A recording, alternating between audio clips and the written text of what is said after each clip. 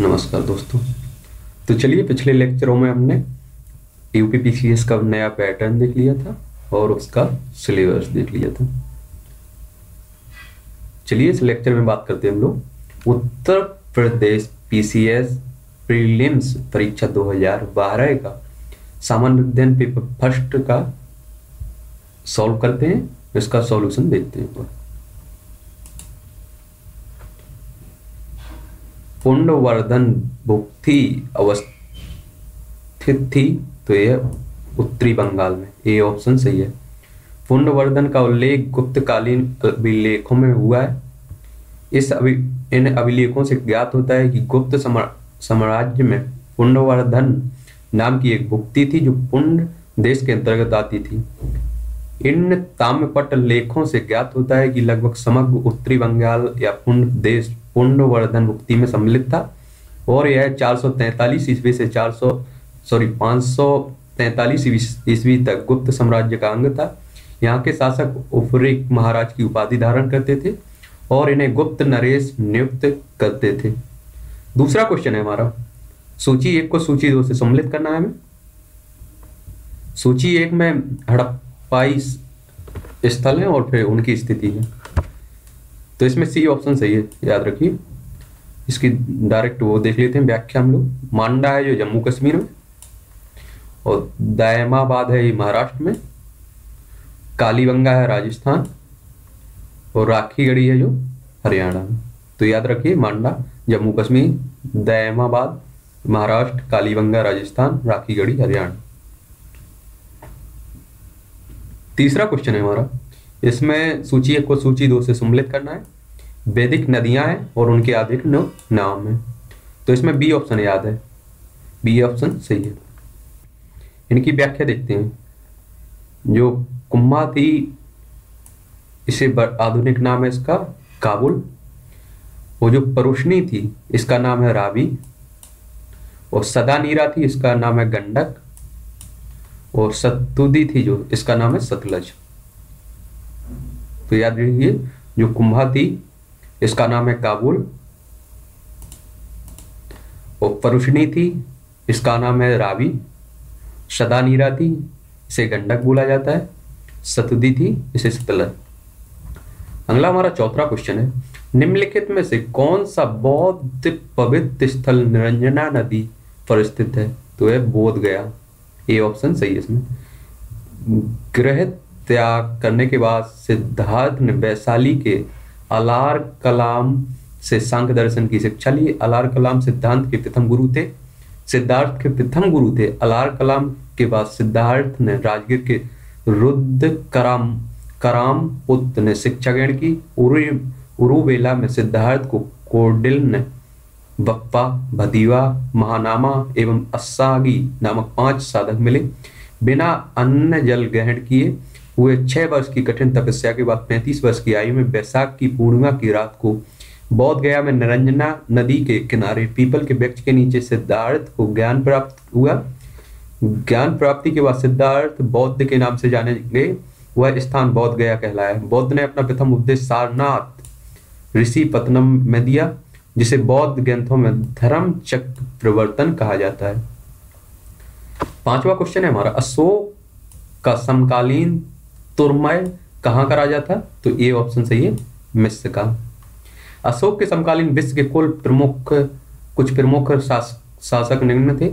सेरेन का अलिक सुंदर मिस्र का तुरमय सीरिया का अंतियोग मैसिडोनिया का आतिकिनी एफिरस का मग।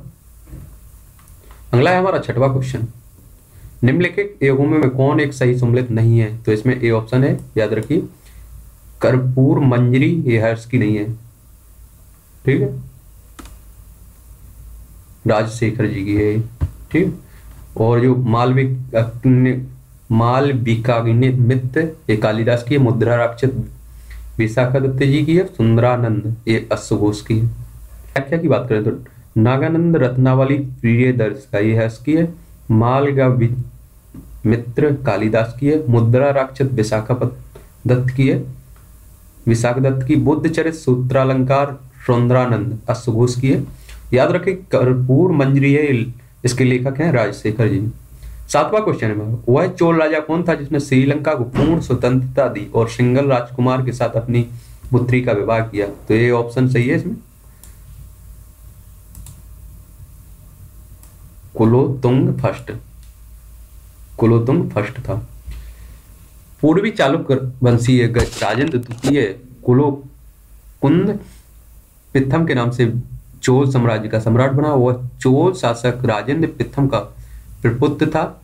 कुलुंग पिथम के साथ ही चोल सालुक वंश की शुरुआत हुई। उसका शासनकाल शांति का काल था। कुलोत्तुंग प्रथम के शासनकाल में पश्चिमी चालुक्यों की ओर से चोलों का विरोध विक्रमादित्य षष्ठ ने किया, किंतु उसे बौद्ध में पराजित होना पड़ा। युद्ध में पराजित कुलोत्तुंग के समय श्रीलंका के राजा विजय बाहु ने अपनी स्वतंत्रता घोषित की। किंतु उसने श्रीलंका में चोल विवाह की समाप्ति के प्रति किसी कटुता का प्रदर्शन नहीं किया तथा अपनी पुत्री का विवाह श्रीलंका के राजकुमार वीर पिमरुमाल के साथ कर दिया। अगला हमारा आठवां क्वेश्चन है किसके सिक्कों पर बगदाद के अंतिम खलीफा का नाम सर्वप्रथम अंकित हुआ है? तो डी ऑप्शन है अलाउद्दीन मसूद शाह अलाउद्दीन मसूद शाह अलाउद्दीन मसूद शाह के सिक्के पर सर्वप्रथम बगदाद के अंतिम खलीफा अल मुस्तसीमा का नाम मुतसीम का नाम अंकित है। तत्पश्चात इल्तुतमिश के सिक्कों पर भी बगदाद के अंतिम खलीफा का नाम अंकित है। अगला है हमारा नौवा क्वेश्चन निम्नलिखित में में से कौन से संगम पतन पश्चिमी तट पर स्थित थे। नीचे दिए गए कूट में सही उत्तर चुनना है अपन को। तो इसमें सी ऑप्शन है। तीन और चार। मतलब तोंडी मुसीरी इसकी व्याख्या देखते हैं। संगम काल में पश्चिमी तट के प्रमुख बंदरगाह नौरा, तांडी, मुसीरी और नेलसीडा आदि थे। नीर फिरवाक एक अन्य समुद्री बंदरगाह था, जहाँ से पश्चिमी, पश्चिम में घोड़ों और उत्तर से अन्य उत्पादित वस्तुएँ लाई जाती थी। संगम काल में पूर्व तट की अपेक्षा पश्चिमी तट के पर बंदरगाहों की संख्या कहीं अधिक थी। रोमन साम्राज्य के व्यापारियों से उनका संबंध अपेक्षा के अधिक घनिष्ठ था। दसवां क्वेश्चन है निम्नलिखित में से कौन महाभारत के तेलुगु अनुवादों के लिए विख्यात है? तो नीचे दिए गए में सही चुनना है। तो इसमें सी ऑप्शन सही है। तीन और चार नत्तय और टिक्कन। महाभारत का तेलुगु अनुवादकार नत्रय ने प्रारंभ किया और ते, जिसे तेरहवीं सदी में शताब्दी में टिक्कन द्वारा चौदहवीं शताब्दी में एयर चौदहवीं शताब्दी में एयर रन द्वारा पूरा किया गया? अब हमारा ग्यारहवा क्वेश्चन है। वह प्रसिद्ध जैन आचार्य कौन थे जिन जिनको अकबर ने अकबर ने बहुत सम्मानित किया। तो इसमें B option Hari Vijay Suri. B option सही है। तो याद रखिए इसमें एक इस, इसकी व्याख्या देख लेते हैं। अकबर हिंदू धर्म से सबसे अधिक प्रभावित था। अकबर ने वल्लभाचार्य के पुत्र विठल नाथ गोकुल और जैतपुरा की जागीर दी अकबर ने जैन धर्म के आचार्य हरि सिंह हरि विजय सूरी को जगत गुरु तथा चिन्ह चंद्र सूरी को योग विधान योग विधान की उपाधि दी। अकबर ने पारसी धर्म के पुरोहित दस्तूर मेयर जी राणा को जीवन निर्वाह के लिए 200 बीघा ज़मीन दी तथा उसी के प्रभाव के कारण अपने दरबार में 24 घंटे अग्नि प्रज्वलित करने का आदेश दिया। अगला हमारा बारवा क्वेश्चन निम्नलिखित में से कौन जहांगीरी चित्रकार थे? नीचे दिए कूट से सही उत्तर चुनना है। तो याद रखिए इसमें ऑप्शन बी सही है। दो और तीन।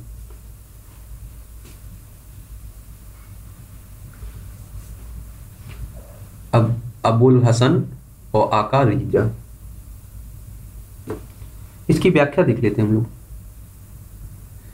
जहांगीर का काल मुगल चित्रकला के चरमोत्कर्ष का काल था, जहांगीर ने हैरात के प्रसिद्ध चित्रकार अकारिजा के नेतृत्व में आगरा में एक चित्रशाला की स्थापना की। जहांगीर के काल में हस्तलिखित ग्रंथों की विषय वस्तु को चित्रकारी के लिए प्रयोग की पद्धति को समाप्त कर करके उसके स्थान पर छवि, चित्र, प्राकृतिक दृश्य एवं व्यक्तियों के जीवन से संबंधित चित्रण की परंपरा की शुरुआत की। जहांगीर के काल के प्रमुख चित्रकारों में फरूक बेग बिशन दास उस्ताद मंसूर दौलत मनोहर आकारजा तथा अबू अब, अबुल हसन थे। फारूक बेग जो अकबर के समय अकबर के समय मुगल चित्र शाला में प्रवेश किया था जहांगीर के समय उस उसने बीजापुर के सुल्तान आदिल शाह का चित्र बनाया था। अब बात करते हैं हम लोग तेरहवें क्वेश्चन औरंगज़ेब की मृत्यु के समय मराठा नेतृत्व किसके हाथों में था? तो ये ताराबाई डी ऑप्शन सही। राजा राम की मृत्यु के बाद उनकी उसकी विधवा पत्नी ताराबाई ने अपने चार वर्षीय पुत्र शिवाजी द्वितीय के नाम से गद्दी पर बैठा है और मुगलों से स्वतंत्रता संघर्ष जारी रखा। उसने रायगढ़, सतारा और तथा सिंहगढ़ आदि किलों को मुगलों से जीत लिया।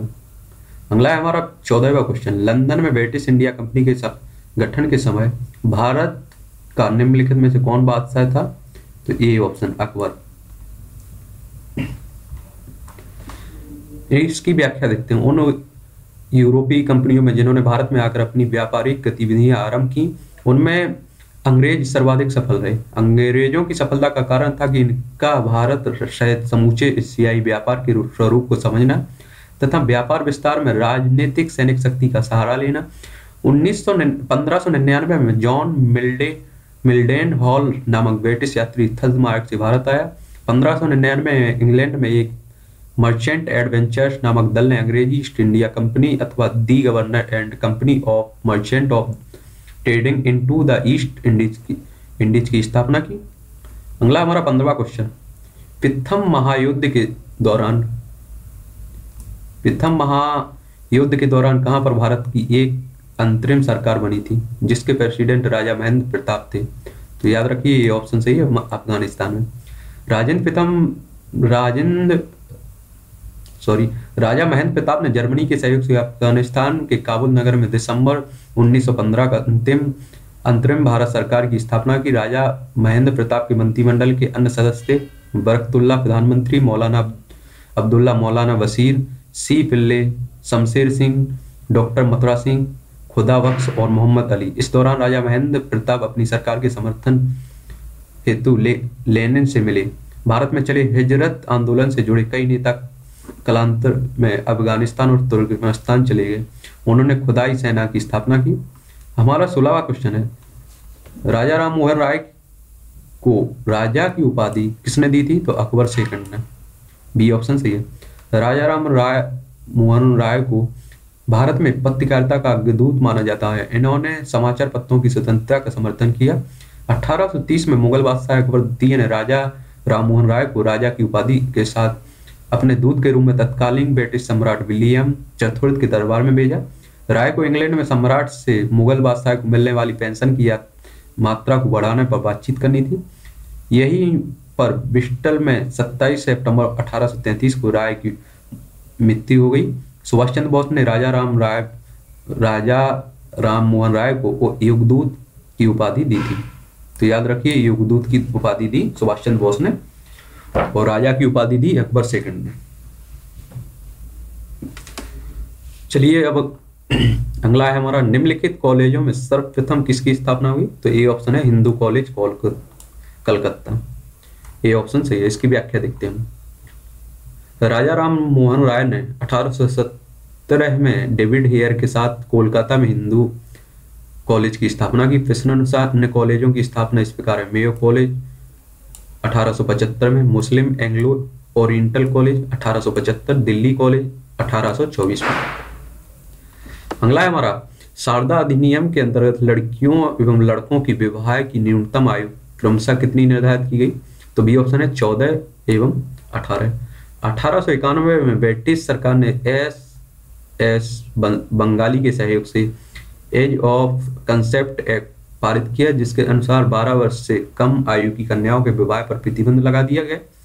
तिलक ने एज ऑफ़ कंसेंट एक्ट का विरोध करते हुए उसे भारतीय सामाजिक मामलों में विदेशी हस्ते, हस्तक्षेप माना। 1930 में एज ऑफ़ कॉन्सेप्ट एक्ट को संशोधित कर शारदा एक्ट नाम दिया गया, जिसके अंतर्गत विवाह की आयु को चौदह वर्ष लड़की के लिए और अठारह वर्ष लड़के के लिए निर्धारित किया गया। अब उन्नीसवा क्वेश्चन है, सूची एक को सूची दो से सम्मिलित करना है। ये हमारे समाचार पत्र हैं और ये भाषा है।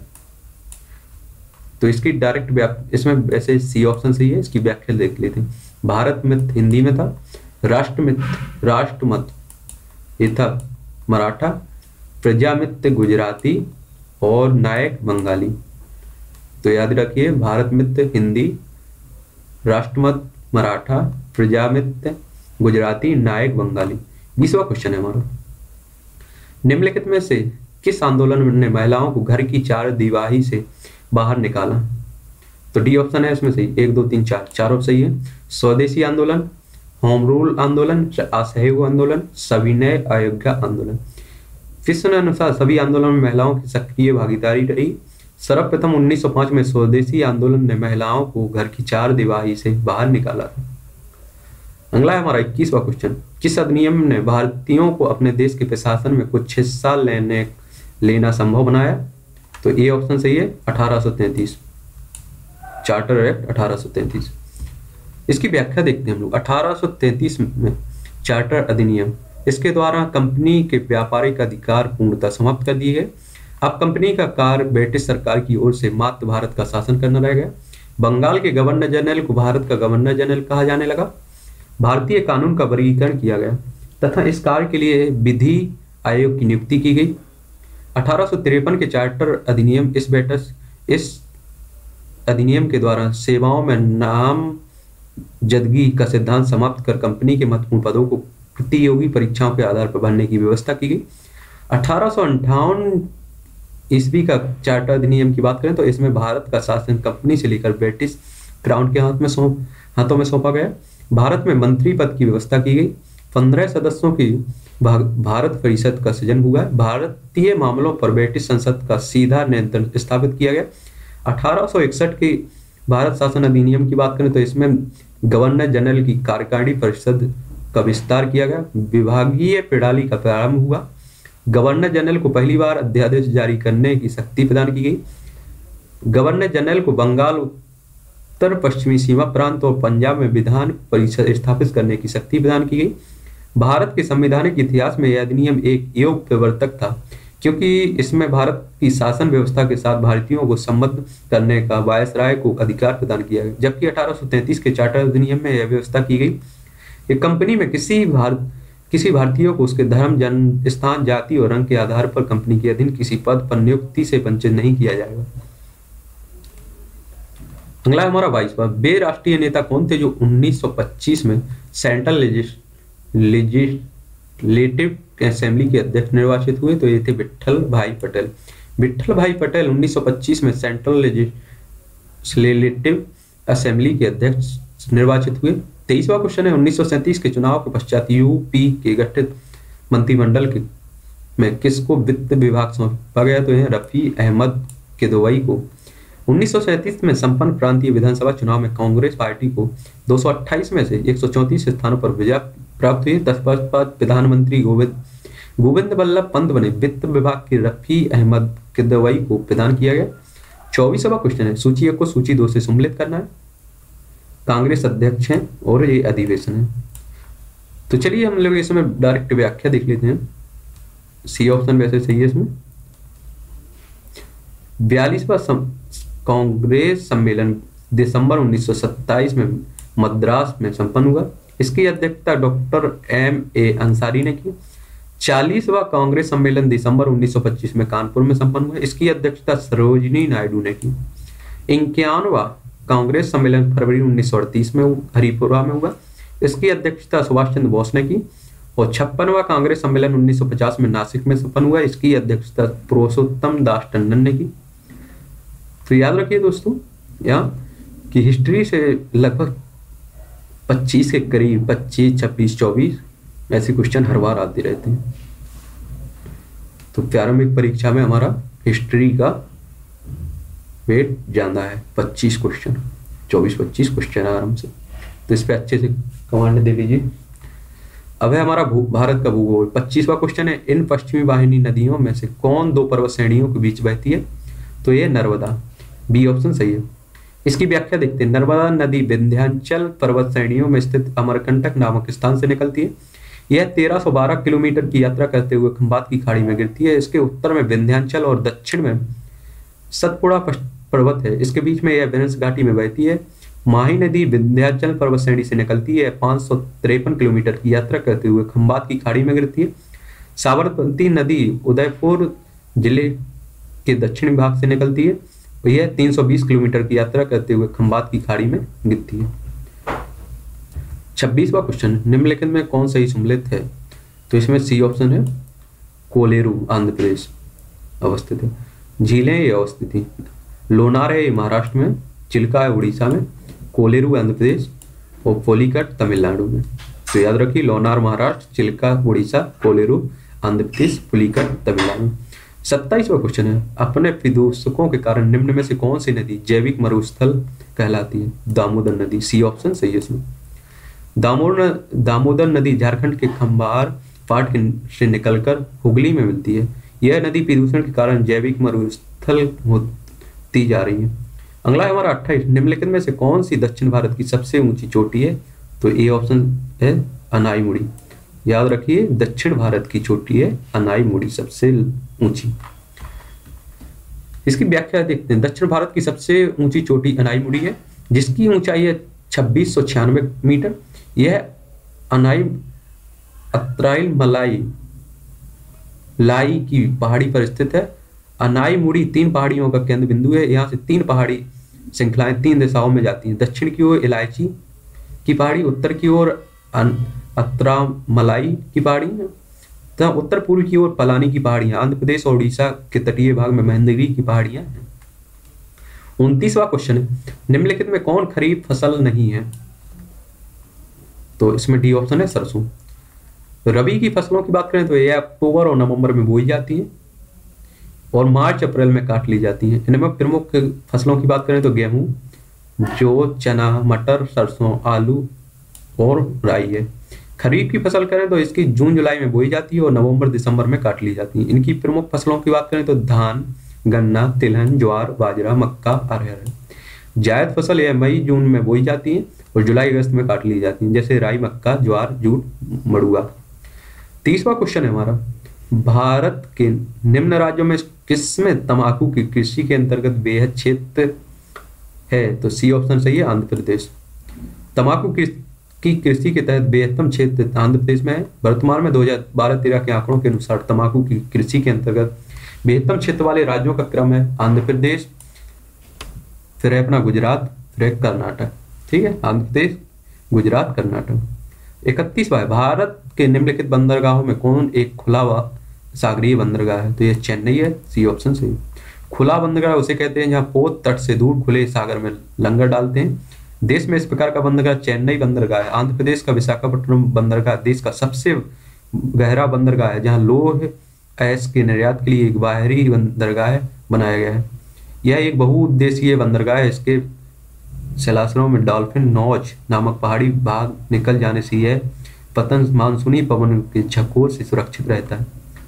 अब हमारा बत्तीस वन निम्नलिखित में से कौन सही सम्मिलित नहीं है? तो चलिए इसकी व्याख्या हम लोग देख लेते हैं। भाखड़ा नागल परियोजना है सतलज नदी पे। इससे लाभान्वित होने वाले राज्य हैं पंजाब, हरियाणा, हिमाचल प्रदेश, राजस्थान। हीराकुंड बाँध है महानदी पर उड़ीसा राज्य होता है इससे लाभान्वित नागा अर्जुन सागर परियोजना है कृष्णा नदी पर, आंध्र प्रदेश होता है इससे लाभान्वित सरदार सरोवर परियोजना है नर्मदा नदी पर। इसमें मध्य प्रदेश, महाराष्ट्र, राजस्थान इससे लाभान्वित होते हैं। तैतीसवा क्वेश्चन है। भारत के निम्न राज्यों में किसमें सागवान का वन पाया जाता है? तो याद रखिए, ये ऑप्शन सही है मध्य प्रदेश भारत में उष्ण कटिबंधीय पतझड़ वाले वन या बहुतायात में पाए जाते हैं। ये वन भारत के उन भागों में पाए जाते हैं जहाँ वर्षा 100 से 200 सेंटीमीटर तक होती है। ये वन गर्मी के प्रारंभ में अपनी पत्तियाँ गिरा देते हैं, इसलिए इन्हें पतझड़ वाले या मानसूनी वन भी कहते हैं।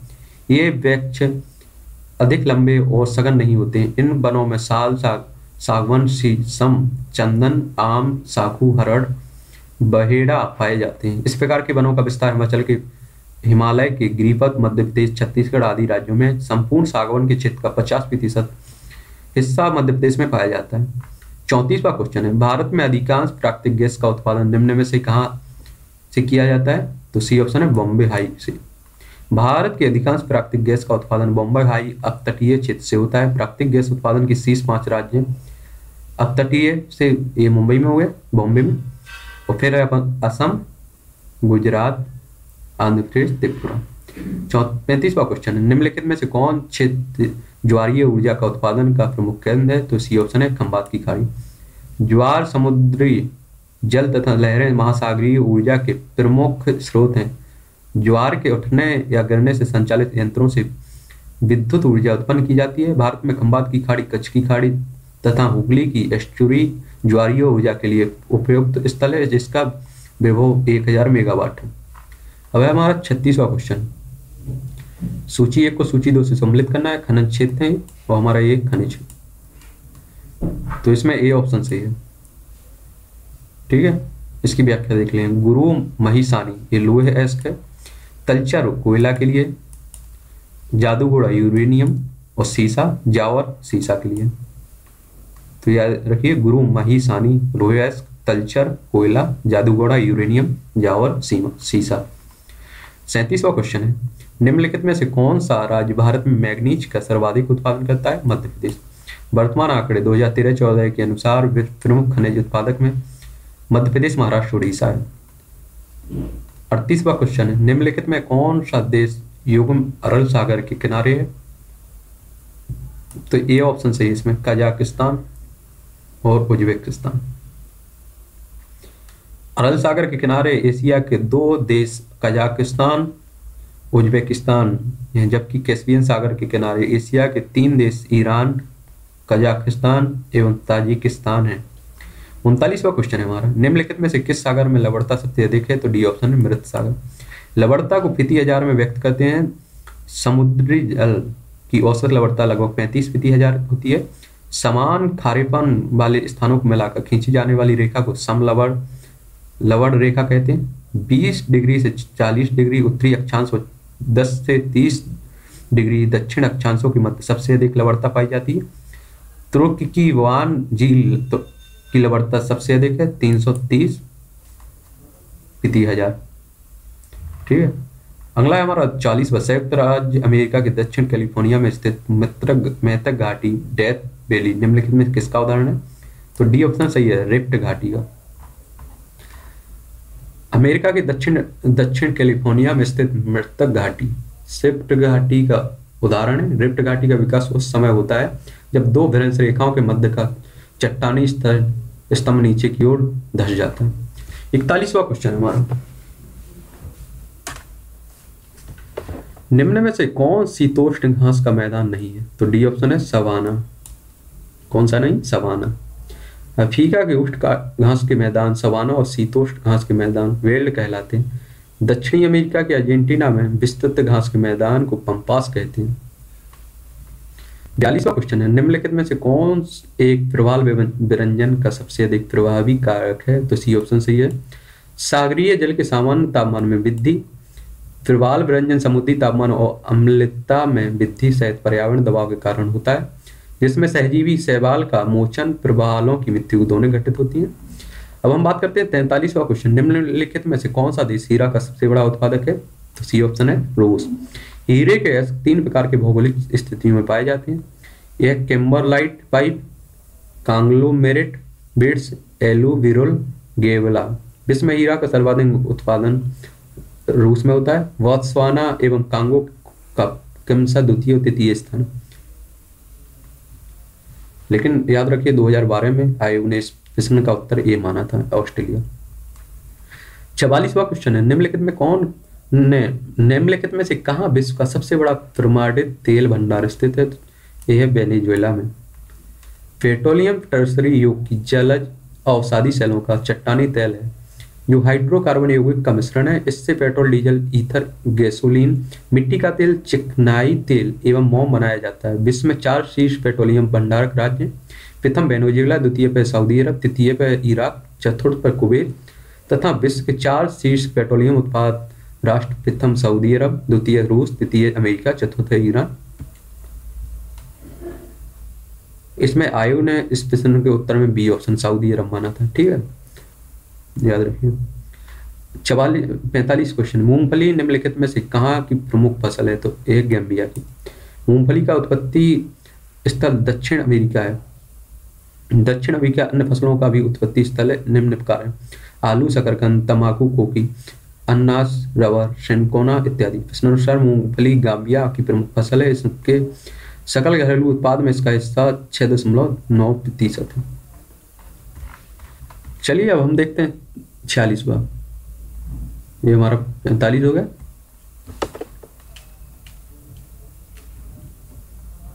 शिल्प, क्षेत्रफल की दृष्टि से निम्न में देश का सही आरोही क्रम कौन है? C option, Argentina, Bharat, Australia. तो इसमें सी ऑप्शन सही है। और प्रमुख देशों का क्षेत्रफल आरोही क्रम में अर्जेंटीना, फिर अपना भारत, फिर ऑस्ट्रेलिया, फिर ब्राज़ील। अब अपना छियालीस के बाद सैंतालीसवा क्वेश्चन निम्नलिखित युग में कौन सही सम्मिलित नहीं है? तो बी ऑप्शन सही है बंतु सहारा नहीं है, ठीक? बाकी सब ठीक है। कोटा, जालौन, सावाना क्षेत्र, गैनी देश में विस्तृत है, यह क्षेत्र फुलानी लोगों द्वारा आवासित है। फुलानी लोगों का मुख्य व्यवसाय पशुपालन है। बंटू, निगेटो, जनजातियों के परिवार, सदस्य, जो अफ्रीका के भूमध्य के भागों में रहते हैं। मसाई टागानिका, केन्या का पूर्वी युगांडा के पठारी क्षेत्र में घुमक्कड़ पशुचारक के रूप में जीवन निर्वाह करते हैं। अड़तालीसवा क्वेश्चन अड़तालीसवा क्वेश्चन है, संसार का सर्वाधिक जनसंख्या वाला मरुस्थल है थार। सी ऑप्शन से।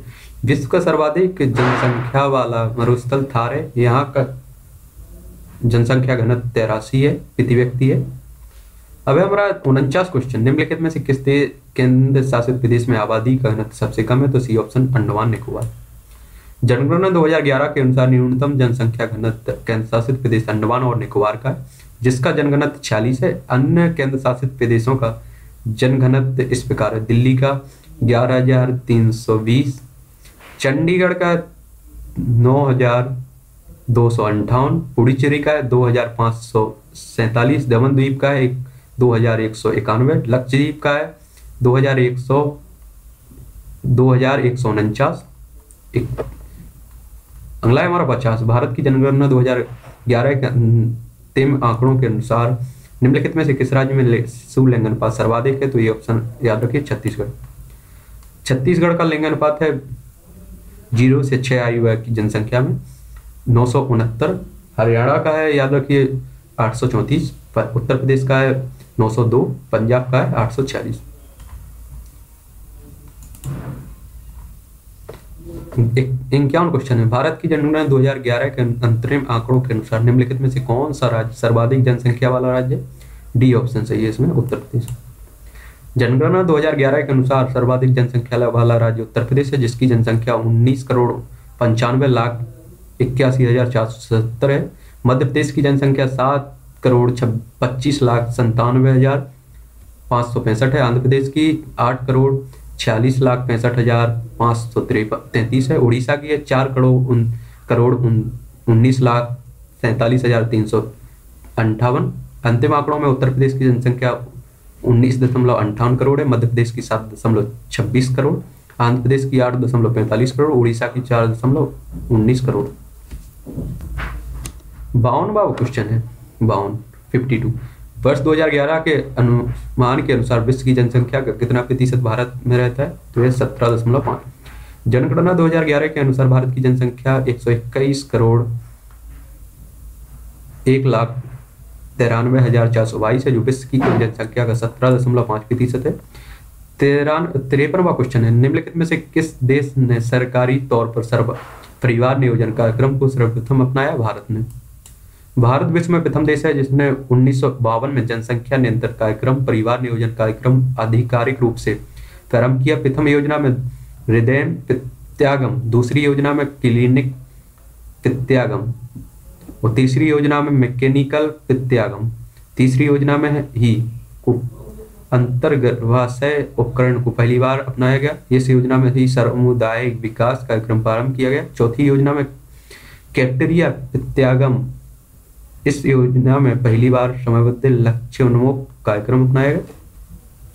अब हमारा चंगन हुआ चंगन क्वेश्चन है। दोस्तों, हम आपको बता दें लास्ट में हम लोग इनका सभी क्वेश्चनों का एनालिसिस कर लेंगे। हर सब्जेक्ट वाइज कि कौन सब्जेक्ट से कितने क्वेश्चन लगभग लगभग आते हैं। ठीक है? पेपर के एंड में ही कर लेंगे सभी सब्जेक्टों का।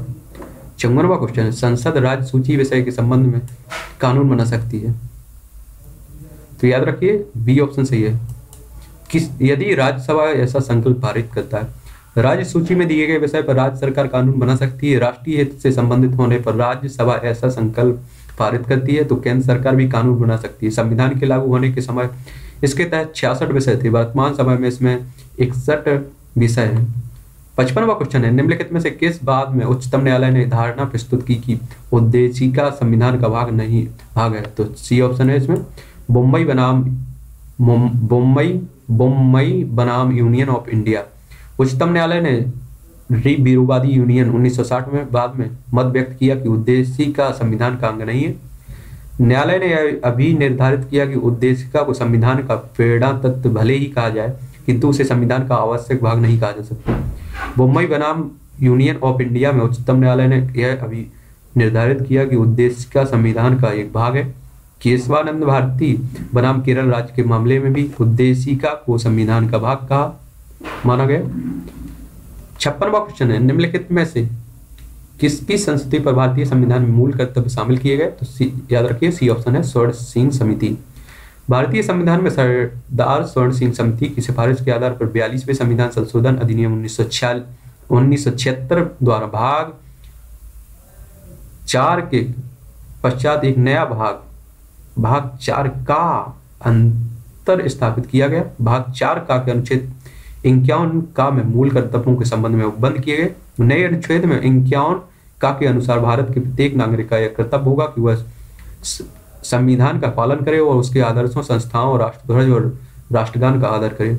स्वतंत्रता के लिए हमारे राष्ट्रीय आंदोलन को प्रेरित करने वाले उच्च आदेशों के हृदय में सजोए रखे और उनका पालन करे। फिर भारत की प्रभुता, एकता, अखंडता की रक्षा करे और उसे अक्षुण्ण रखे।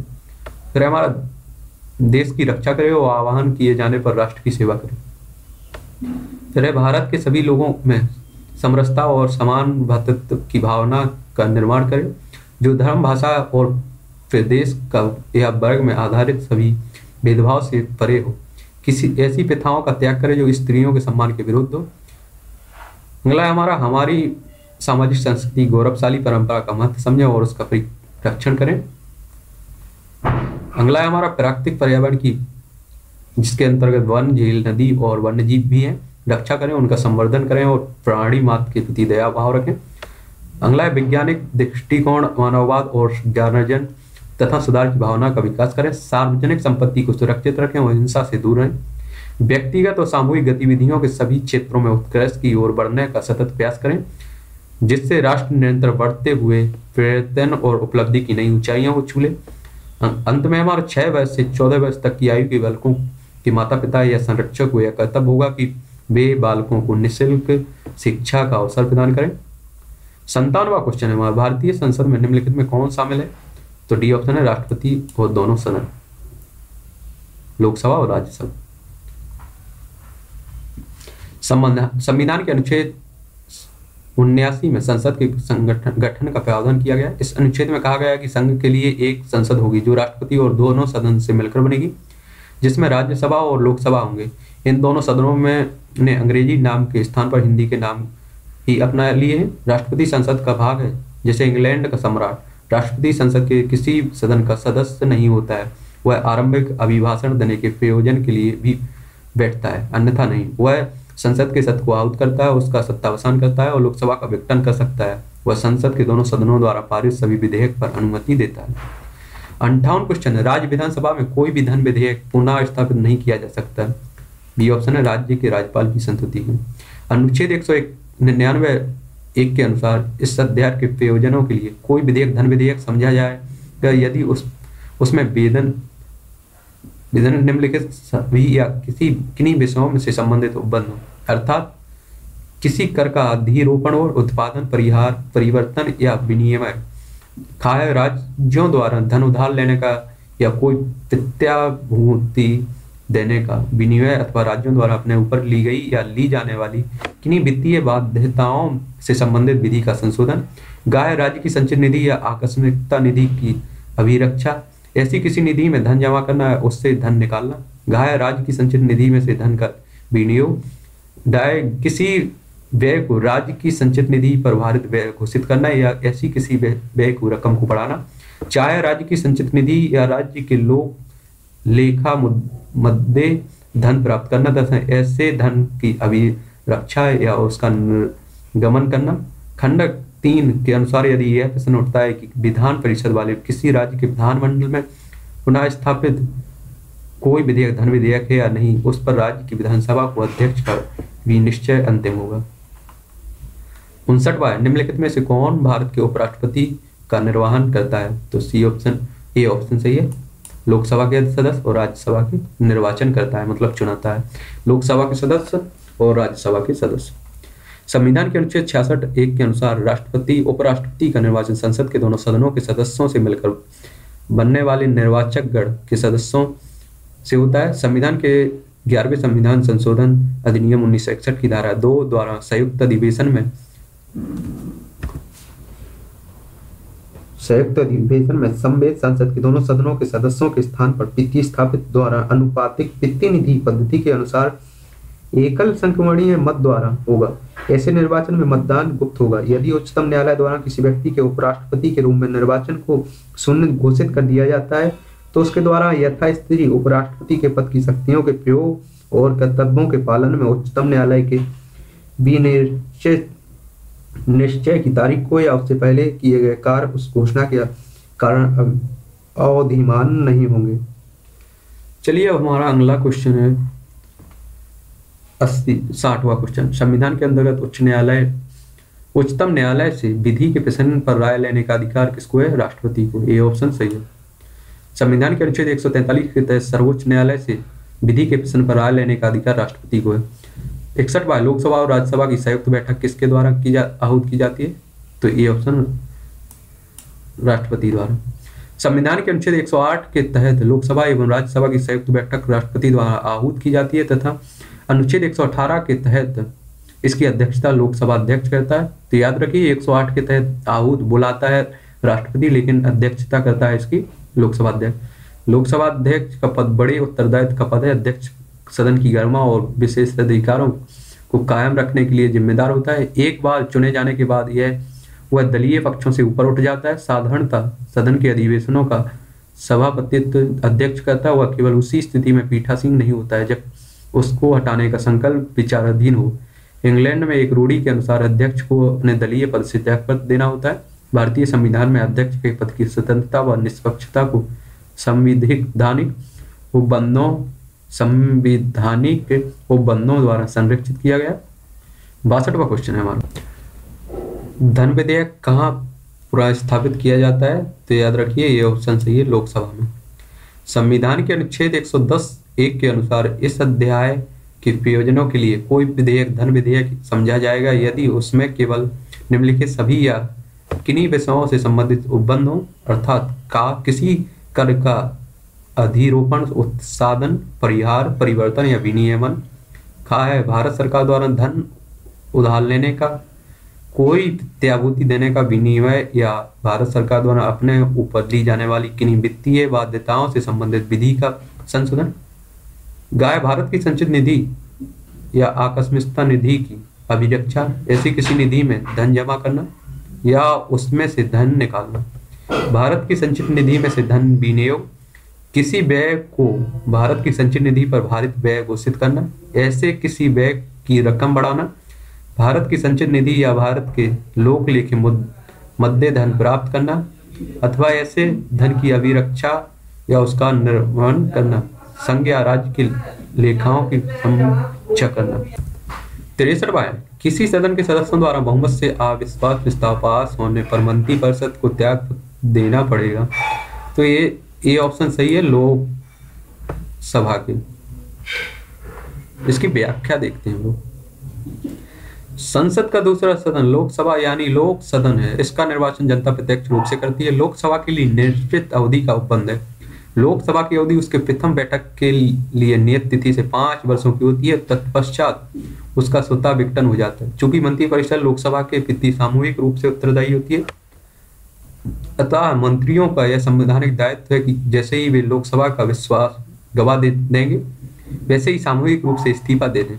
चौसठ है निम्नलिखित में कौन राज्यपाल की नियुक्ति करता है? तो भारत के राष्ट्रपति डी ऑप्शन सही अनुच्छेद 155 के तहत के अनुसार राज्यपाल के राष्ट्रपति राज्यपाल को राष्ट्रपति अपने हस्ताक्षर मुद्रा सहित अधिपत्य द्वारा नियुक्त करता है। इस प्रकार राज्य का राज्यपाल निर्वाचित नहीं होता है। यह केंद्र द्वा, सरकार द्वारा नामांकित की व्यक्ति होता है। वास्तव में राज्यपाल की नियुक्ति राष्ट्रपति प्रधानमंत्री की सलाह पर करता है। पिछले पिता तथा सहकारिया सरकारिया आयोग की सिफारिश के आधार पर राज्य का राज्यपाल नियुक्त करते समय संबंधित राज्य के मुख्यमंत्री से भी परामर्श ले लिया जाता है। हर गोविंद बनाम रघुकुल, उन्नीस के मामले में सर्वोच्च न्यायालय ने यह भी निर्धारित किया कि राज्यपाल का पद केंद्रीय सरकार के अधीन नियुक्त पद नहीं है और अनुच्छेद 319 का पित्ती से उस पर लागू नहीं होता है। अतः राज्य के किसी लोक सेवा आयोग के किसी सदस्य को राज्यपाल के पद पर नियुक्त किया जा सकता है। राज्यपाल का पद एक स्वतंत्र संवैधानिक पद है और वह केंद्रीय सरकार के अधीन या उसके नियंत्रण में नहीं होता है। पैंसठ है हमारा। मंत्री परिषद सामूहिक रूप से निम्न से किसके प्रति उत्तरदायी होती है तो डी ऑप्शन है लोकसभा के प्रति अनुच्छेद पचहत्तर तीन मंत्री परिषद लोकसभा के प्रति सामूहिक रूप से उत्तरदायी होती है। सामूहिक उत्तरदायित्व का अर्थ है कि मंत्रीगण अपने कार्यों के लिए टीम के रूप में लोकसभा के प्रति सामूहिक रूप से उत्तरदायी होती है। मंत्रीगण एक टीम के रूप में कार्य करते हैं और मंत्रीगण में लिए गए निर्णय उनके, उसके सदस्यों के संयुक्त निर्णय होते हैं। मंत्रिमंडल की बैठक में मंत्रियों में किसी विषय पर कितना भी मतभेद क्यों ना रहा हो, किंतु जब एक बार निर्णय ले लिया जाता है, तभी सभी मंत्रियों को स्वीकार करना होगा और विधान मंडल में या उसके बाहर उसका समर्थन करना होगा। यदि कोई मंत्री मंत्रिमंडल के निर्णय से, असंतुष्ट है तो उसे इस्तीफा दे देना होता है। और यदि इस्तीफा नहीं देता है तो मंत्रिमंडल के निर्णय पर वह भी शामिल माना जाता है। इस सिद्धांत के अनुसार मंत्री परिषद लोकसभा के प्रति सामूहिक रूप से उत्तरदायी है। मंत्रिमंडल की संविधानिक बाध्यता कि विधानमंडल के निर्वाचन सदस्य का विश्वास खोते ही तुरंत त्याग पत्र दे देते हैं? यह सामूहिक उत्तरदायित्व लोकसभा के प्रति चाहे वह मंत्री राज्यसभा के हों, यदि किसी मंत्री विशेष के विरोध भी लोकसभा विश्वास प्रस्ताव पारित कर देती है तो तो भी संपूर्ण मंत्री परिषद को त्याग पत्र देना होता है। अपना अब छियासठ बार निम्नलिखित में से किसके द्वारा भारत के नियंत्रक एवं महालेखा परीक्षक के पद का सृजन किया गया था? तो याद रखिए बी ऑप्शन है संविधान द्वारा। संविधान के अनुच्छेद 148 के अनुसार भारत एक, भारत का एक नियंत्रक महालेखा परीक्षक होगा, जिसकी नियुक्ति राष्ट्रपति अपने हस्ताक्षर मुद्दा सहित अधिपत्य द्वारा करेगा। उसे अपने पद से केवल उसी रीति से और उन्हीं आधारों पर हटाया जाएगा। जिस रीति से, जिन आधारों पर उच्चतम न्यायालय, कौन सा उच्चतम न्यायालय के न्यायाधीश को हटाया जाता है, इस प्रकार नियंत्रक महालेखा परीक्षक की नियुक्ति राष्ट्रपति करेगा। उसे पद से संसद के दोनों सदनों के समावेदन पर ही हटाया जा सकेगा।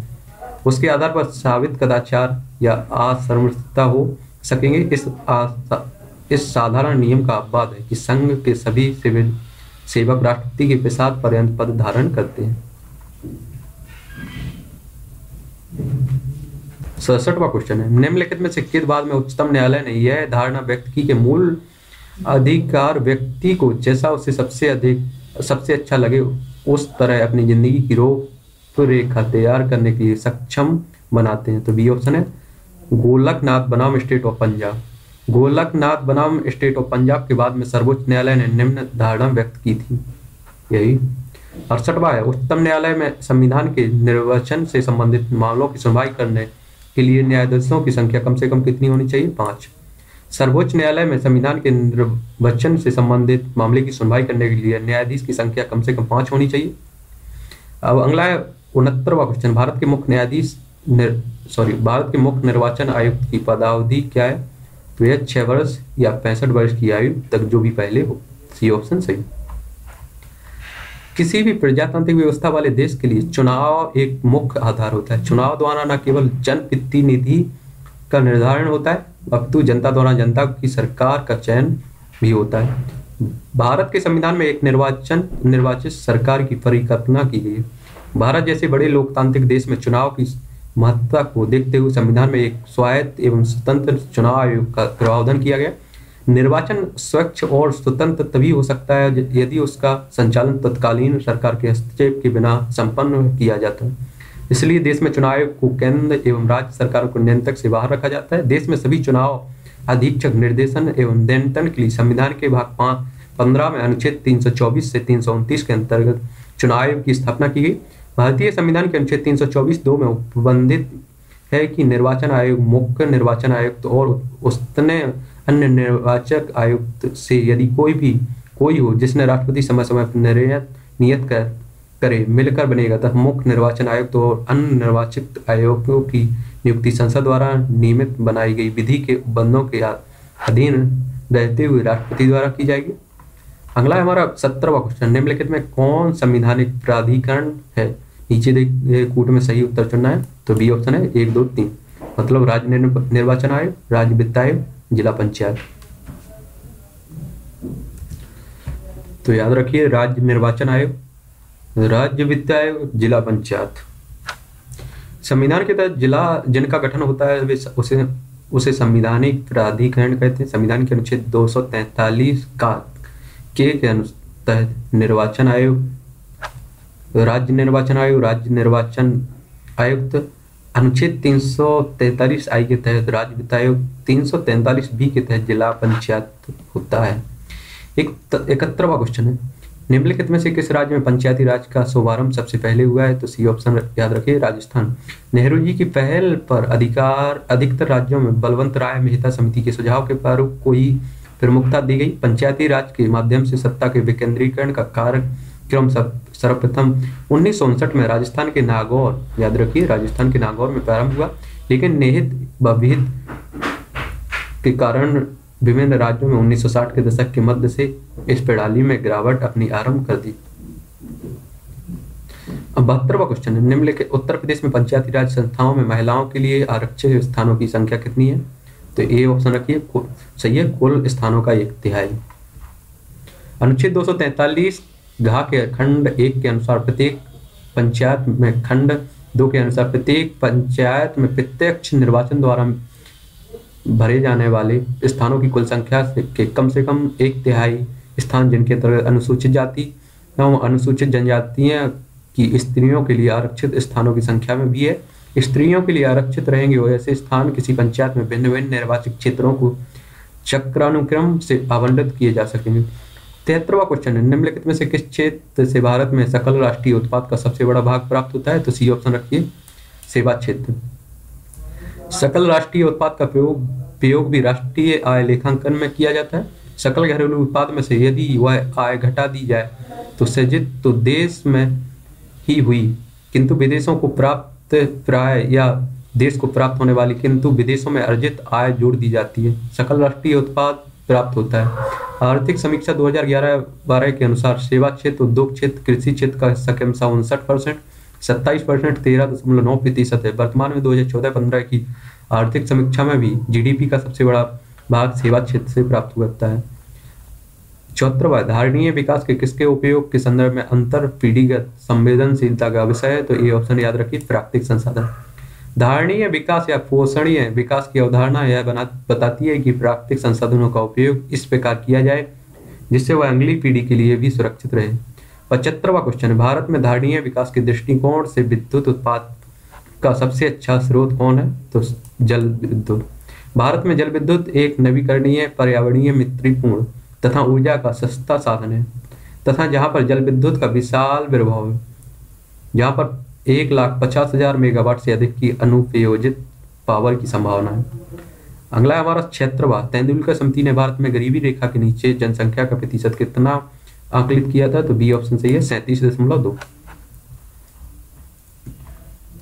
गरीबी सामान्यतः न्यूनतम सामाजिक सामाजिक जीवन स्तर के नीचे की दशा है। योजना आयोग ने के द्वारा उन्नीस में गठित task force on minimum need and effective consumption demand report के अनुसार ग्रामीण क्षेत्र में 2400 कैलोरी कैलोरी तथा शहरी क्षेत्र में 2100 कैलोरी का उपयोग प्रति व्यक्ति से कम का उपयोग स्तर की स्थिति गरीबी कही जाती है। 2011 में योजना आयोग द्वारा गठित तेंदुलकर समिति ने संपूर्ण भारत में सैंतीस दशमलव दो प्रतिशत जनसंख्या की को गरीबी रेखा से नीचे माना। सतहत्तरवा राष्ट्रीय विकास परिषद द्वारा स्वीकृति स्वीकृत बारहवीं पंचवर्षीय योजना हेतु प्रस्तावित परिकल्पना पत्र में विकास का निर्दिष्ट लक्ष्य क्या है? तो सी ऑप्शन नौ प्रतिशत बारहवीं पंचवर्षीय योजना 2012 से 17 तक थी। दृष्टि पत्र में निर्धारित महत्वपूर्ण वार्षिक लक्ष्य। सकल घरेलू उत्पाद में वृद्धि नौ प्रतिशत, कृषि क्षेत्र में चार प्रतिशत, उद्योग क्षेत्र में नौ दशमलव छः सेवा क्षेत्र में दस दशमलव, दस प्रतिशत दस प्रतिशत, निवेश दर में अड़तीस दशमलव सात प्रतिशत, बचत दर में छत्तीस दशमलव दो प्रतिशत औसत वार्षिक राजकीय घाटा तीन दशमलव पच्चीस प्रतिशत। थोक मूल्य सूचकांक में औसत वृद्धि चार से चार दशमलव पाँच से पाँच प्रतिशत। अठहत्तर है निम्नलिखित में से कौन योजना आयोग तथा राज्य सरकारों के बीच समन्वयकर्ता का कार्य करता है? तो सी ऑप्शन है राष्ट्रीय विकास परिषद।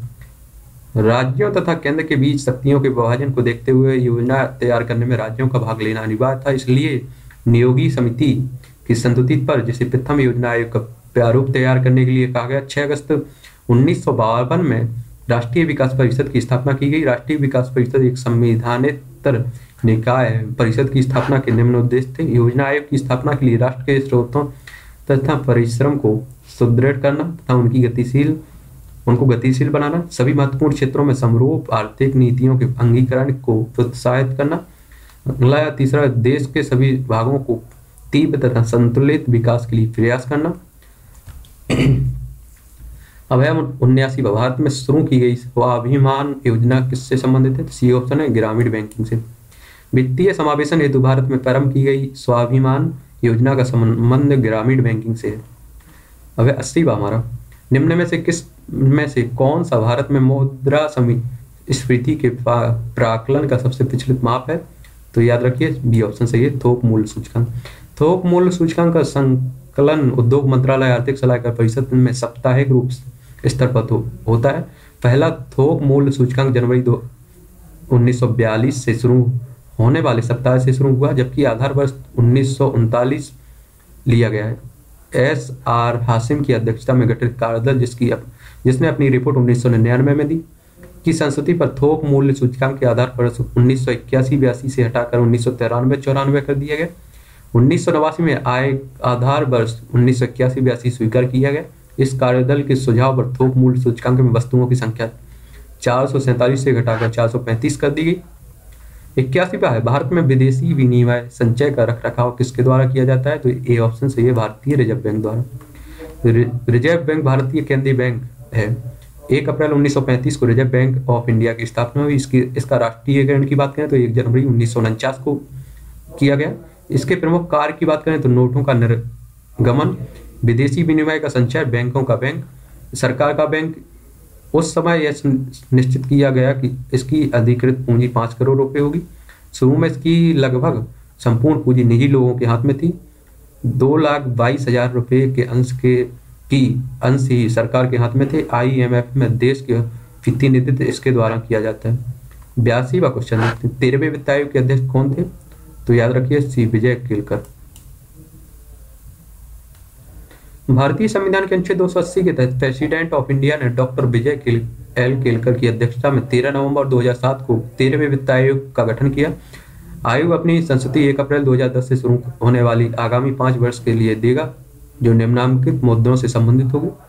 संविधान के चैप्टर एक पार्ट ग्यारह के अंतर्गत ग्यारह सॉरी बारह के अंतर्गत उन करों के संबंध में संघ तथा राज्यों के बीच बंटवारे के संबंध में सुझाव देगा जिनकी नेवल प्राप्तियाँ विभाज्य हैं या विभाजित हो सकती हैं। उन सिद्धांतों के संबंध में सुझाव देना जो राज्यों के 275 के तहत दिए जाने वाले राजस्व अनुदान को प्रोत्साहित करेंगे।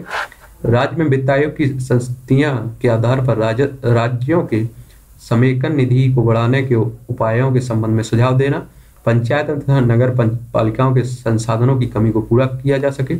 वर्तमान वर्ष में 2000 पंद्रह बीस की अवधि में केंद्र एवं राज्यों के बीच वित्त के बंटवारे के लिए सुझाव देने हेतु चौदहवें वित्त आयोग का गठन किया गया। इस आयोग ने 15 दिसंबर 2014 को अपनी रिपोर्ट राष्ट्रपति को सौंपी।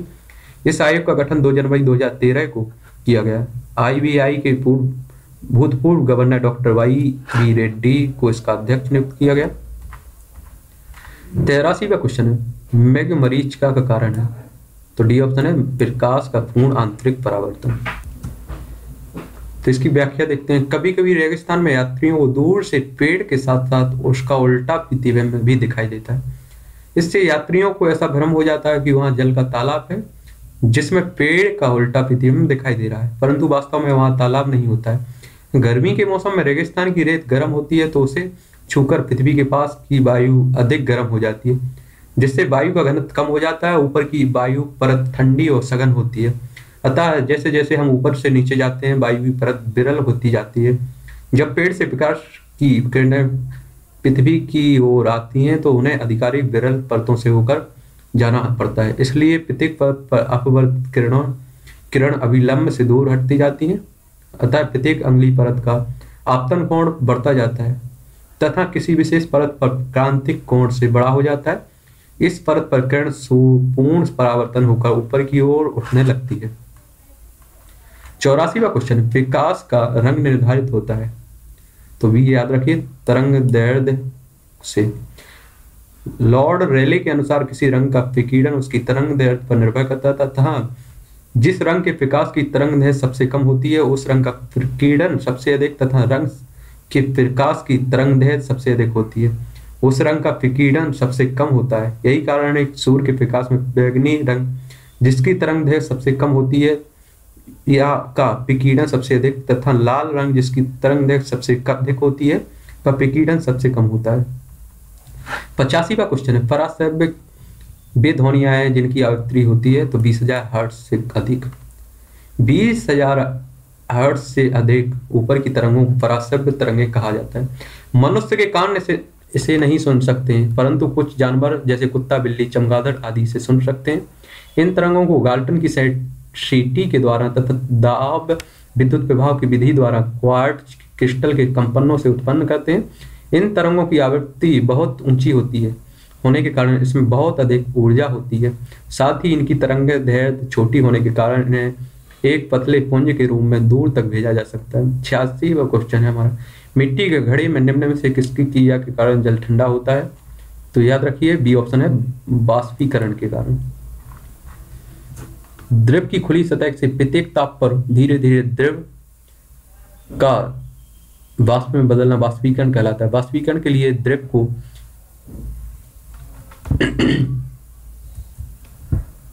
ऊष्मा की आवश्यकता होती है। ऊष्मा द्रव अपने अंदर से ही प्राप्त करता है। द्रव ठंडा हो जाता है और आम जीवन में इसके कई उदाहरण देखने को मिलते हैं। जैसे हमारे शरीर में पसीना जब सूखता है तो हमें ठंडक महसूस होती है, क्योंकि पसीना सूखने पर बना वाष्पीकरण के लिए उष्मा शरीर से ग्रहण होता है, तथा अतः शरीर ठंडा हो जाता है। वाष्पीकरण के कारण ही कूलर ठंड उत्पन्न करता है, एवं सो गई का पानी ठंडा हो जाता है। अगला है सतासी का क्वेश्चन हमारा।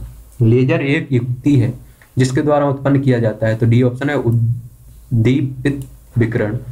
Light amplification by stimulated emission of of radiation का संक्षिप्त रूप ही लेजर कहलाता है जिसका अर्थ है विकिरण के प्रेरित उत्सर्जन में प्रकाश परिवर्तन अर्थात प्रकाश तरंग पर आधारित लेजर एक ऐसी है जिसमें विकिरण के प्रेरित उत्सर्जन द्वारा एक वर्णी प्रकाश प्राप्त किया जाता है। लेजर तरंगों की आवृत्ति समान होती है तथा इसके विभिन्न तरंगों की कला भी स्थिर होती है।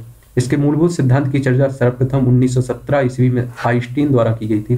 परंतु वास्तव में लेजर की खोज सन 1960 में अमेरिका के हेजिज अनुसंधान प्रयोगशाला में थियोडोर एच एच मेमेन द्वारा की गई। मूल रूप से लेजर में मणिक क्रिस्टल का उपयोग होता है, लेकिन वर्तमान समय में विभिन्न प्रकार के लेजर विभिन्न आकार के धात्विक पदार्थों से निर्मित हो, होने लगे।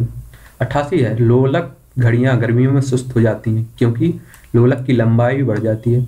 गर्मियों में लोलक की लंबाई बढ़ जा जाएगी जो तो उसका आवर्तकाल भी बढ़ जाएगा। अतः घड़ी सुस्त हो जाएगी। सदियों में लंबाई कम हो जाने पर आवर्तकाल भी कम हो जाता है। लोलक बड़ी तेज़ी चलने लगती है। नवासी हमारा क्वेश्चन निम्नलिखित में से कौन सी हरित गैस ग्रह गैस नहीं है। तो याद रखिए नाइट्रोजन नहीं है। वायुमंडल में बढ़ती हुई हानिकारक गैस जैसे carbon carbon dioxide. Carbon monoxide sulphur dioxide आदि वायुमंडल की ऊपरी सतह पर जमकर पृथ्वी के तापमान में वृद्धि कर देती। इसे ग्रीन हाउस प्रभाव कहते हैं। ये गैसें पृथ्वी में आपस में आपस में लौटने वाली अवरक्त किरणों को रोककर वातावरण को गर्म करती है। और वैश्विक तापमान में वृद्धि इस तरह से होती है रहेगी तो ध्रुवों पर। ध्रुवों पर स्थित बर्फ़ पिघलने लगेगी और इसका सीधा प्रभाव समुद्री तटवर्ती शहरों पर पड़ेगा जो जलमग्न हो जाएँगे। समुद्र में स्थित कई द्वीप समूह का अस्तित्व ही समाप्त हो जाएगा। अतः ग्रीन हाउस प्रभाव आज भी गंभीर पर्यावरणीय समस्या है। अब नब्बेवा क्वेश्चन है निम्नलिखित में पदार्थों में कौन से ओजोन रिक्ति कारक हैं? नीचे दिए गए कूट से सही उत्तर चुनना है तो डी ऑप्शन है। Chlorofluorocarbon halons carbon tetrachloride. Chlorofluorocarbon halon carbon tetrachloride ozone रिक्तिकरण के लिए उत्तरदायी है। मॉन्टियल प्रोटोकॉल के अनुसार इन गैसों के उत्पादन पर रोक लगा दी गई है। इक्यानवेवा क्वेश्चन है हमारा, जल जब बर्फ़ पिघलती है, तब भी आयतन घटता है। याद रखिए, जब बर्फ़ पिघलती है तो भी आयतन घटता है। बी ऑप्शन सही है। बानवेवा क्वेश्चन है, दूध का धवल रंग निम्नलिखित में से किसकी उपस्थिति के कारण होता है? कैसिन। बैक्टीरियम लेक्टिसाई एसिडाई और बैक्टीरियम एसिडाई लेक्टिसाई नामक जीवाणु जो दूध में पाए जाते हैं, वो दूध में पाई जाने वाली लेक्टोज शर्करा का किड़वन कर लैक्टिक अम्ल का निर्माण करते हैं। दूध में धवल, रंग कैसिन नामक प्रोटीन की उपस्थिति के कारण होता है। तेरानवे क्वेश्चन है लाइकेन सबसे अच्छे सूचक होते हैं। तो याद रखिए वायु प्रदूषण के। लाइकेन थैलोफाइटा प्रकार की वनस्पति है, जो कवक तथा सेवाल दोनों से मिलकर बनती है। इसमें कवक तथा सेवालों का संबंध परस्पर सहजीवी जैसा होता है। कवक मंडल खनिज, लवण विटामिन आदि सेवालों को देता है और सेवाल विकास संश्लेषण की क्रिया द्वारा कार्बोहाइड्रेट का निर्माण कर कवक को को देता है। कवक सैवाल के बीच इस तरह के सहजीवी संबंध को हेलोरिज्म करते हैं। लाइकन शब्द का सर्वप्रथम प्रयोग ग्रीक ग्रीक दार्शनिक थियोफेस्टर ने किया। लाइकन वायु प्रदूषण के संकेत तक होते हैं, जहाँ वायु प्रदूषण अधिक होता है वहाँ लाइकन नहीं उगते हैं। पेड़ों की छालों पर उगने वाले लाइकन को क्रेटिकॉल्स तथा खाली चट्टानों पर उगने वाले लाइकन को एक्सीकॉल्स कहते हैं। चौरानवे क्वेश्चन है हमारे पर्णहरित किलोरोफ्लोरो। में निम्नलिखित में कौन सा तत्व पाया जाता है? तो सी ऑप्शन मैग्नीशियम। पर्णहरित बड़क, मुख्यतः हरित लवण नामक पादक कोशिकांग में पाया जाता है। विकास संश्लेषण की क्रिया के लिए पर्णहरित बहुत ही आवश्यक है। दूसरे है विकास संश्लेषण की क्रिया का केंद्र होता है, पौधों की जिन कोशिकाओं में पर्णहरित उपस्थित होता है केवल वे ही विकास संश्लेषण किया कर पाती हैं। पौधों में पर्ण हरित हरी पत्तियों में पाया जाता है, इस कारण पत्तियों, पौधे का विकास संश्लेषी अंग कहा जाता है। फर्ण हरित में चार पाइरोल रिंग का बना चपटा, फोर फारिन हेड, जिसके केंद्र मैग्नीशियम का एक परमाणु तथा एक रिंग पर हाइड्रोजन चैन होती है। क्लोरोफ्लोरो ए का सूत्र है। C fifty five H seventy two O five N four M G तथा क्लोरोफ्लो बी का सूत्र है। सी फिफ्टी फाइव फिर अपना H seventy O six and four M G अगला हमारा पंचानवे। निम्नलिखित सूची एक को सूची दो से सम्मिलित करना है। वायु प्रदूषक है, ये प्रभावित अंग है। तो आपको बता दें इसकी व्याख्या कर लेते हैं। एसबेस्टॉस धूल, फेफड़ा है प्रभावित अंग है सीसा, मस्तिष्क, पारा, उदर, कार्बन मोनोऑक्साइड रक्त धारा तो याद रखिए एसबेस्टॉस धूल, फेफड़ा अंग प्रभावित होता है, सीसा से मस्तिष्क, पारा से उदर, कार्बन मोनोऑक्साइड से रक्त धारा अपना अब छियानवे क्वेश्चन है, डेंगू, बुखार में, मानव शरीर में, निम्नलिखित में किसकी कमी हो जाती है? तो याद रखिए प्लेट लिफ्ट की यह रोग विषाणु के कारण होता है। इस रोग को एडिस इजेक्टी एंडिस एल्बोपेक्टस और क्यूलेक्स पट्टी फट्टी फट्टी नंसस नामक मच्छर संचारित करते हैं। इसे, इस रोग में अचानक तेज ज्वार आ जाता है, चेहरे पर पित्तियाँ निकल जाती हैं, तथा सिर, आँखें, पेशियाँ और जोड़ों में बहुत जोड़ों का दर्द होता है। यह महामारी के रूप में अचानक फैलता है। इस रोग को हड्डी तोड़ बुखार भी कहते हैं। संतानवे क्वेश्चन है डीएनए के दुई हेलिकस प्रभाव को पहली बार किसने प्रस्तावित किया? तो याद रखिए, वाटसन एंड किक ने। सन उन्नीस में जे जे वॉटसन किक ने डीएनए की दुई कुंडली संरचना पर मॉडल प्रतिपादित किया। इस काम के लिए उन्हें सन उन्नीस में नोबेल पुरस्कार मिला। डीएनए की अधिकांश डीएनए की अधिकांश मात्रा के अंदर में होती है। यद्यपि इसकी कुछ मात्रा माइटोकांडिया तथा माइटोकांडिया तथा हरित लवक में मिलती है। डीएनए पॉलीन्यूक्लियोटाई होते हैं। डीएनए डीएनए में उपस्थित चार क्षार होते हैं, एडिनिन, ग्वानिन, थायमिन तथा साइटोसिन। डीएनए में अणु संख्या के आधार पर एडिनिन सदैव थायमिन से और साइटोसिन सदैव ग्वानिन से जुड़ता है। एडिनिन, थायमिन के बीच दो हाइड्रोजन आबंध बनते हैं। साइटोसिन व गुआनिन के बीच तीन हाइड्रो का जन आबंध बनते हैं। अंठानवे क्वेश्चन है फंक ने निम्नलिखित में से किसका आविष्कार किया। तो याद रखिए विटामिन का। विटामिन शब्द का प्रयोग सर्वप्रथम सी फंक द्वारा 1911 में किया गया। इसका नामकरण अंग्रेज़ी वर्णमाला के अनुसार किया गया, जैसे A B C D E के आदि। मानव शरीर मानव शरीर में इन कार्बन पदार्थों की आवश्यकता कम मात्रा में होती है। विटामिन विटामिन खाद्य पदार्थों पदार्थों से प्राप्त होते हैं इनकी कमी से कुछ रोग हो जाते हैं। विटामिन विभिन्न उपापचयी क्रियाओं का नियंत्रण करते हैं। विलयन के विलयन के आधार पर विटामिन दो प्रकार के में दो वर्गों में विभाजित किए जाते हैं। जल में घुलनशील विटामिन है बी तथा सी और बसा में घुलनशील विटामिन है ए, डी के। अगला निन्यानवे क्वेश्चन सूची सूची को दो सम्मिलित करना है। तो ये रोग है और ये कवक मतलब जीवाणु विषाणु। प्लेग है जो, ये जीवाणु से फैलता है, एड्स है, विषाणु से। और गंजापन कवक से मलेरिया है फोटोजुआ से। तो याद रखिए जो प्लेग रोग है ये जीवाणु से फैलता है। एड्स है जो जीसाणु से और गंजापन है कवक से। सौवा क्वेश्चन है एम आर आई निम्न से क्या है? तो C option magnetic reso resonance imaging M R I का पूरा नाम मैग्नेटिक रेजोनेंस इमेजिंग है। यह एक प्रकार की तकनीक है जिसके रोग जिससे रोगों के कारण की जा, सूक्ष्म जाँच जाँच की जाती है। एक सौ एकवा क्वेश्चन है। वर्ष 2011 को पशुओं में होने वाला किस बीमारी के लिए चिन्हित किया गया था? तो बी ऑप्शन याद रखिए। रेंडर पेस्ट के लिए। 2011 में पशुओं में होने वाली रेंडर पेस्ट नामक बीमारी के लिए चिन्हित किया गया था। एक सौ दो क्वेश्चन है। कंप्यूटर का सबसे महत्वपूर्ण भाग है। ये ऑप्शन सीपीयू इसे विस्तृत रूप से सेंट्रल प्रोसेसिंग यूनिट कहा जाता है। यह कंप्यूटर का दिलो दिमाग कहलाता है। समस्त मुख्य प्रोसेसिंग यही पर होती है। P third P four, A M D, Athlon आदि सीपीए के कुछ उदाहरण। पेंटर एक ऐसा साधन है जो किसी भी डॉक्यूमेंट को अपने कंप्यूटर पर प्रिंट करता है। डिस्क सूचना स्टोर करने के लिए कंप्यूटर में इस्तेमाल होती है। डिस्क दो प्रकार की होती है, हाइड, हार्ड डिस्क और फ्लॉपी डिस्क। अगला हमारा 103 भारत के निम्नलिखित क्षेत्रों में कौन से जैव विविधता की दृष्टि से उत्तेजनशील स्थल माने जाते हैं? तो याद रखिए, बी ऑप्शन से इसमें, एक और तीन। मतलब पूर्वी हिमालय और पश्चिमी हिमालय। प्रश्न अनुसार पूर्वी हिमालय एवं पश्चिमी घाट को जैव विविधता की दृष्टि से शिखर स्थल माना जाता है।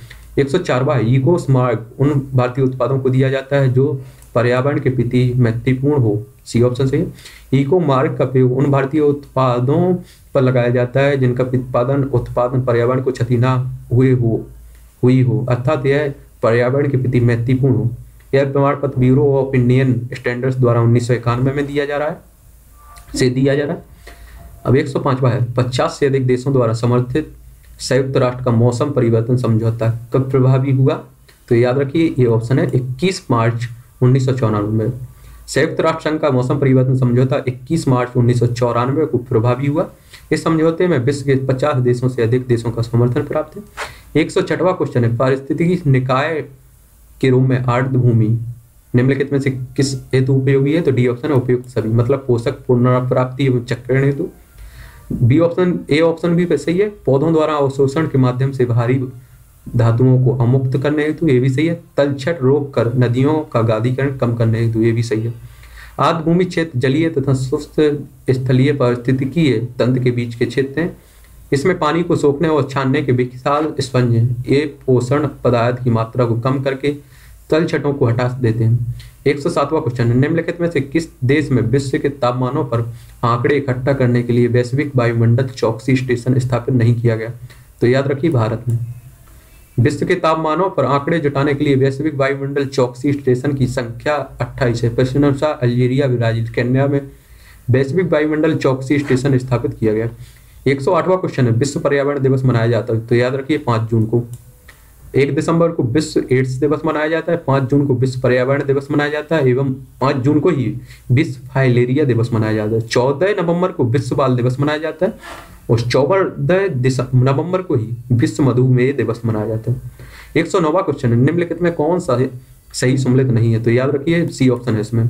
वायु वन, भारतीय वन प्रबंधन संस्थान अहमदाबाद में नहीं है। भारतीय प्रबंधन संस्थान अहमदाबाद के सहयोग से उन्नीस सौ चौरासी में भोपाल में भारतीय वन प्रबंधन संस्थान की स्थापना की गई थी। पारिस्थितिकी विज्ञान का केंद्र बेंगलुरु में भारतीय वन प्राणी संस्थान है। देहरादून, हिमालय पर्यावरण विकास का गोविंद बल्लभ पंत संस्थान है अल्मोड़ा में। 110 बार दो भिन्न समुदायों के बीच संक्रांति क्षेत्र कहलाता है तो इकोटोन। दो भिन्न समुदायों के बीच का संकरण क्षेत्र इकोटोन कहलाता है। याद रखिए एक सौ ग्यारहवा क्वेश्चन है। भूमिगत जल को दूषित करने वाले अजैविक विदूषक हैं तो सी ऑप्शन आर्सेनिक भूमिगत जल को दूषित करने वाला अजैव पदार्थ आर्सेनिक है। यह ज्वालामुखी के वाष्पों में समुद्र तथा अनेक खंडनीय जलों में मिश्रित रहता है। एक सौ बारहवा क्वेश्चन पारिस्थितिकी तंत्र में तथ्यों के चक्रण को क्या कहते हैं? तो बी ऑप्शन सही है, जैव भू रासायनिक चक्र। किसी स्थान पर पाए जाने वाले किसी जैव जीव समुदाय का वातावरण से तथा अन्य अजैविक समुदाय से परस्पर संबंध होता है। इसी पारंपरिक संबंध को पारिस्थितिकी तंत्र कहते हैं। पारिस्थितिकी तंत्र का शब्द, तंत्र शब्द का उपयोग प्रथम ट्रांसलेट ने 1935 में किया था।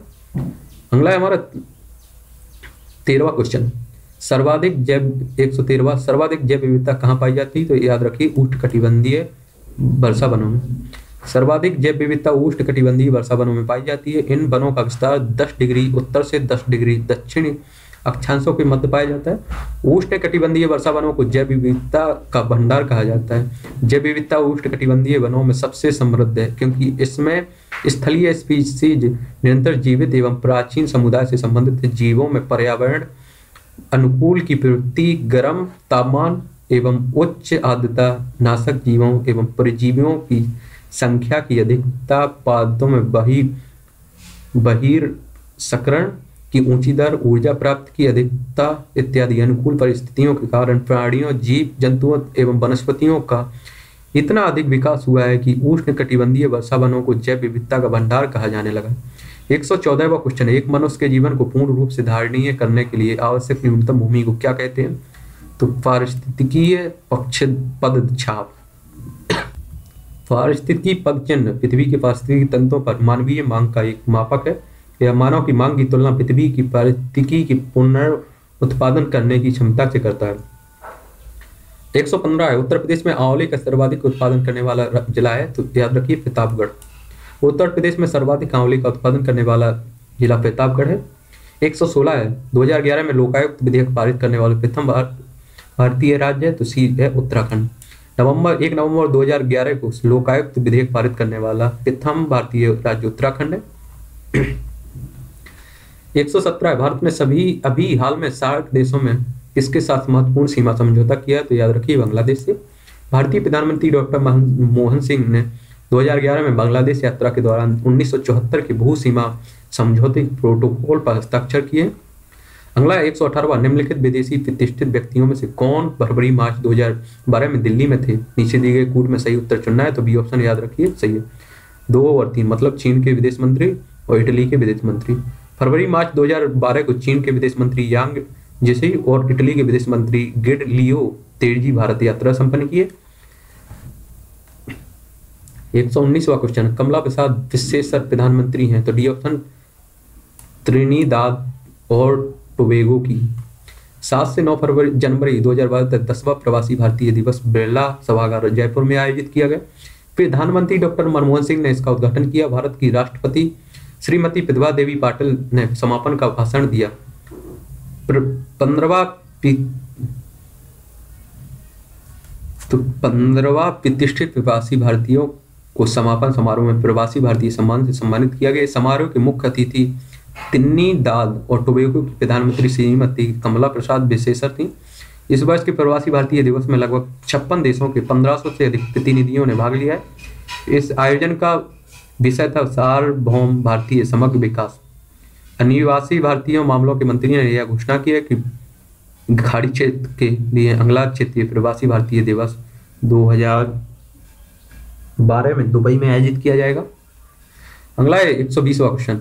तेरह जनवरी 2012 को इटली के पश्चिमी तट के निकट दुर्घटनाग्रस्त वैभवशाली पर्यटन पोत का नाम था तो कोस्टा कौन कोडिया तेरह जनवरी 2012 को इटली के का लग्जरी क्रूज से कोस्टा कौन कोडिया, टस्काने द्वीप के निकट भूंगो की चट्टानों से टकराकर डूब गया। एक सौ इक्कीसवा क्वेश्चन है, इफ्सा भारत, ब्राज़ील, दक्षिण अफ्रीका के संगठन पंचम शिखर सम्मेलन 2000 वर्ष 2011 में संपन्न हुआ था तो बी एस रहा पिक्टोरिया भारतीय भारत, ब्राज़ील व दक्षिण अफ्रीका का समूह इफ्सा का पांचवा शिखर सम्मेलन दक्षिण अफ्रीका की राजधानी पिक्टोरिया में हुआ। अक्टूबर 2011 को संपन्न हुआ है। 18 अक्टूबर को दक्षिण अफ्रीकी राष्ट्रपति जेकब जेकब जुमा की मेजबानी में संपन्न हुआ है। इस सम्मेलन में इस सम्मेलन में ब्राज़ील के राष्ट्रपति डेल्मा रोसे भारतीय प्रधानमंत्री डॉक्टर मनमोहन सिंह उपस्थित रहे। विदेश मंत्री एम, एस, एम कृष्णा, वाणिज्य मंत्री आनंद शर्मा व नव नियुक्त प्रधान सचिव पुलक चटर्जी सम्मेलन भारतीय प्रधानमंत्री मनमोहन सिंह के साथ शिष्टमंडल में भाग में शामिल थे। इप्सा के यह तीनों ही देश वर्तमान सुरक्षा परिषद का स्थायी सदस्य हैं तथा स्थायी सदस्यता के दावेदार हैं। अब हम बात करते हैं 122 बीस दिसंबर 2011 को मारियानो राजोए में निम्नलिखित देशों में किसके प्रधानमंत्री के रूप में दायित्व संभाला है? तो सी ऑप्शन स्पेन। 20 दिसंबर 2011 को मारियानो राजो वे में स्पेन के प्रधानमंत्री के रूप में कारवास ग्रहण किया है। एक सौ तैंतीस तेईसवा क्वेश्चन सॉरी एक सौ तेईसवा किस देश ने दिसंबर 2011 में घोषित किया गया? यह अपना प्रथम विदेशी सैन्य अड्डा हिंद महासागर की द्वीप सेशल्स में स्थापित किया। तो याद रखिए, चीन ने ए ऑप्शन सही है। सत्रहवा दक्षिण सम्मेलन 2011 कहाँ संपन्न हुआ? तो याद रखिए, आदू सिटी में। 11 से 10 से 11 नवंबर 2011 को दक्षिण दक्षेश का सत्रहवा सम्मेलन मालदीव के आदू सिटी में संपन्न हुआ। सार्क के सभी आठ सदस्य देशों के राष्ट्राध्यक्षों के अतिरिक्त ऑस्ट्रेलिया, चीन, ईरान, दक्षिण Korea, Mauritius, Japan, Myanmar, America व यूरोपीय संघ के प्रतिनिधि इस सम्मेलन में पर्यवेक्षक के तौर पर शामिल हुए। सम्मेलन में भारत का नेतृत्व प्रधानमंत्री डॉक्टर मनमोहन सिंह ने किया है। एक सौ महात्मा गांधी अंतर्राष्ट्रीय शांति एवं सद्भावना पुरस्कार दिया है तो सी ऑप्शन दलाई लामा को। दक्षिण अफ्रीका के राष्ट्रपति दक्षिण अफ्रीका के महात्मा गांधी फाउंडेशन के वर्ष 2011 के महात्मा गांधी अंतर्राष्ट्रीय शांति पुरस्कार से तिब्बत के धर्मगुरु दलाई लामा को सम्मानित किया गया। बोध गया में 4 जनवरी 2012 को दलाई लामा को महात्मा गांधी की पुत्री इला गांधी ने यह सम्मान प्रदान किया। एक सौ क्वेश्चन है। 2014 को फीबा विश्व कप किस देश में होगा? तो ये ब्राज़ील में। वर्ष 2014 का 20वां फीफा विश्व कप का आयोजन ब्राज़ील में होगा और 21वां फीफा विश्व कप 2018 रूस में तथा दो बाईसवा फीफा विश्व कप 2022 में कतर में। एक सौ सत्ताईस है। वर्ष 2011 के लिए राजीव गांधी खेल रत्न पुरस्कार प्राप्त करता है तो गगन नारंग। राष्ट्रपति प्रतिभा पाटिल ने खेल दिवस के अवसर पर 29 अगस्त 2011 को देश का नाम रोशन करने वाले खिलाड़ियों व प्रशिक्षकों को वर्ष 2011 के राष्ट्रीय खेल पुरस्कारों से सम्मानित किया है। दिल्ली राष्ट्रमंडल खेलों में चार स्वर्ण पदक जीतने वाले प्रसिद्ध निशानेबाज गगन नारंग को देश का सर्वोच्च खेल सम्मान, राजीव गांधी खेल रत्न पुरस्कार से सम्मानित किया गया। राजीव गांधी खेल रत्न अर्जुन पुरस्कार तथा ध्यानचंद पुरस्कारों के चयन समिति के अध्यक्ष अध्यक्ष अध्यक्ष इसके वोडन परी पीटी उषा थी। जबकि दौड़ाचार पुरस्कार के चयन समिति के अध्यक्ष कुश्ती के महान महाबली सतपाल थे। एक सौ क्वेश्चन है निम्नलिखित में कौन भारत के तिरसठवे गणतंत्र दिवस समारोह में विशिष्ट अतिथि हैं? तो याद रखिए, ये हैं। ये ऑप्शन सही है। यंग लक सिनापात्रा इसकी व्याख्या देख लेते हैं हम लोग, ठीक है? थाईलैंड की प्रथम महिला प्रधानमंत्री बनने वाली यंग लक सीना वात्रा भारत के तिरसठवें गणतंत्र दिवस को दिवस को मुख्य अतिथि थी। एक सौ उनतीस जनवरी 2012 में दक्षिण एशिया साहित्य का दूसरा डीएससी पुरस्कार प्रदान किया गया तो डी ऑप्शन सेहन करुणा तिलक को। श्रीलंकाई लेखक सेहन करुणा तिलक को उनके उपन्यास चिनामन के लिए वर्ष 2012 के साउथ एशियन लिटरेचर के डीएससी प्राइज को से 21 जनवरी 2012 को जबलपुर, जयपुर में संपन्न अंतर्राष्ट्रीय लिटरेचर फेस्टिवल में सम्मानित किया गया। एक सौ तीस बार निम्नलिखित में से किस ने प्रथम भारतीय ग्रहण प्री फार्मूला बनकर कार रेस में प्रथम स्थान दिया? है तो यह सेबेस्टियन बिट्टल 30 अक्टूबर 2011 को ग्रेटर नोएडा स्थित बुद्ध इंटरनेशनल सर्किट में संपन्न पहली Airtel Indian grand prix का खिताब एफ़ वन सर्किट के सबसे यंग ड्राइवर रेल रेड बुल टीम के सेबेस्टियन बेटेल ने जीत लिया है। वर्ष 2010 के वर्ल्ड चैंपियन तथा इस साल के 2011 के वर्ल्ड चैंपियन का खिताब पहले ही जीत चुके हैं। जर्मनी के बेटेल ने 60 लैप, एक घंटा 30 मिनट पैंतीस दशमलव ज़ीरो ज़ीरो से दो सेकंड का समय निकालकर इंडियन ग्रांड प्री के खिताब पर कब्जा किया है।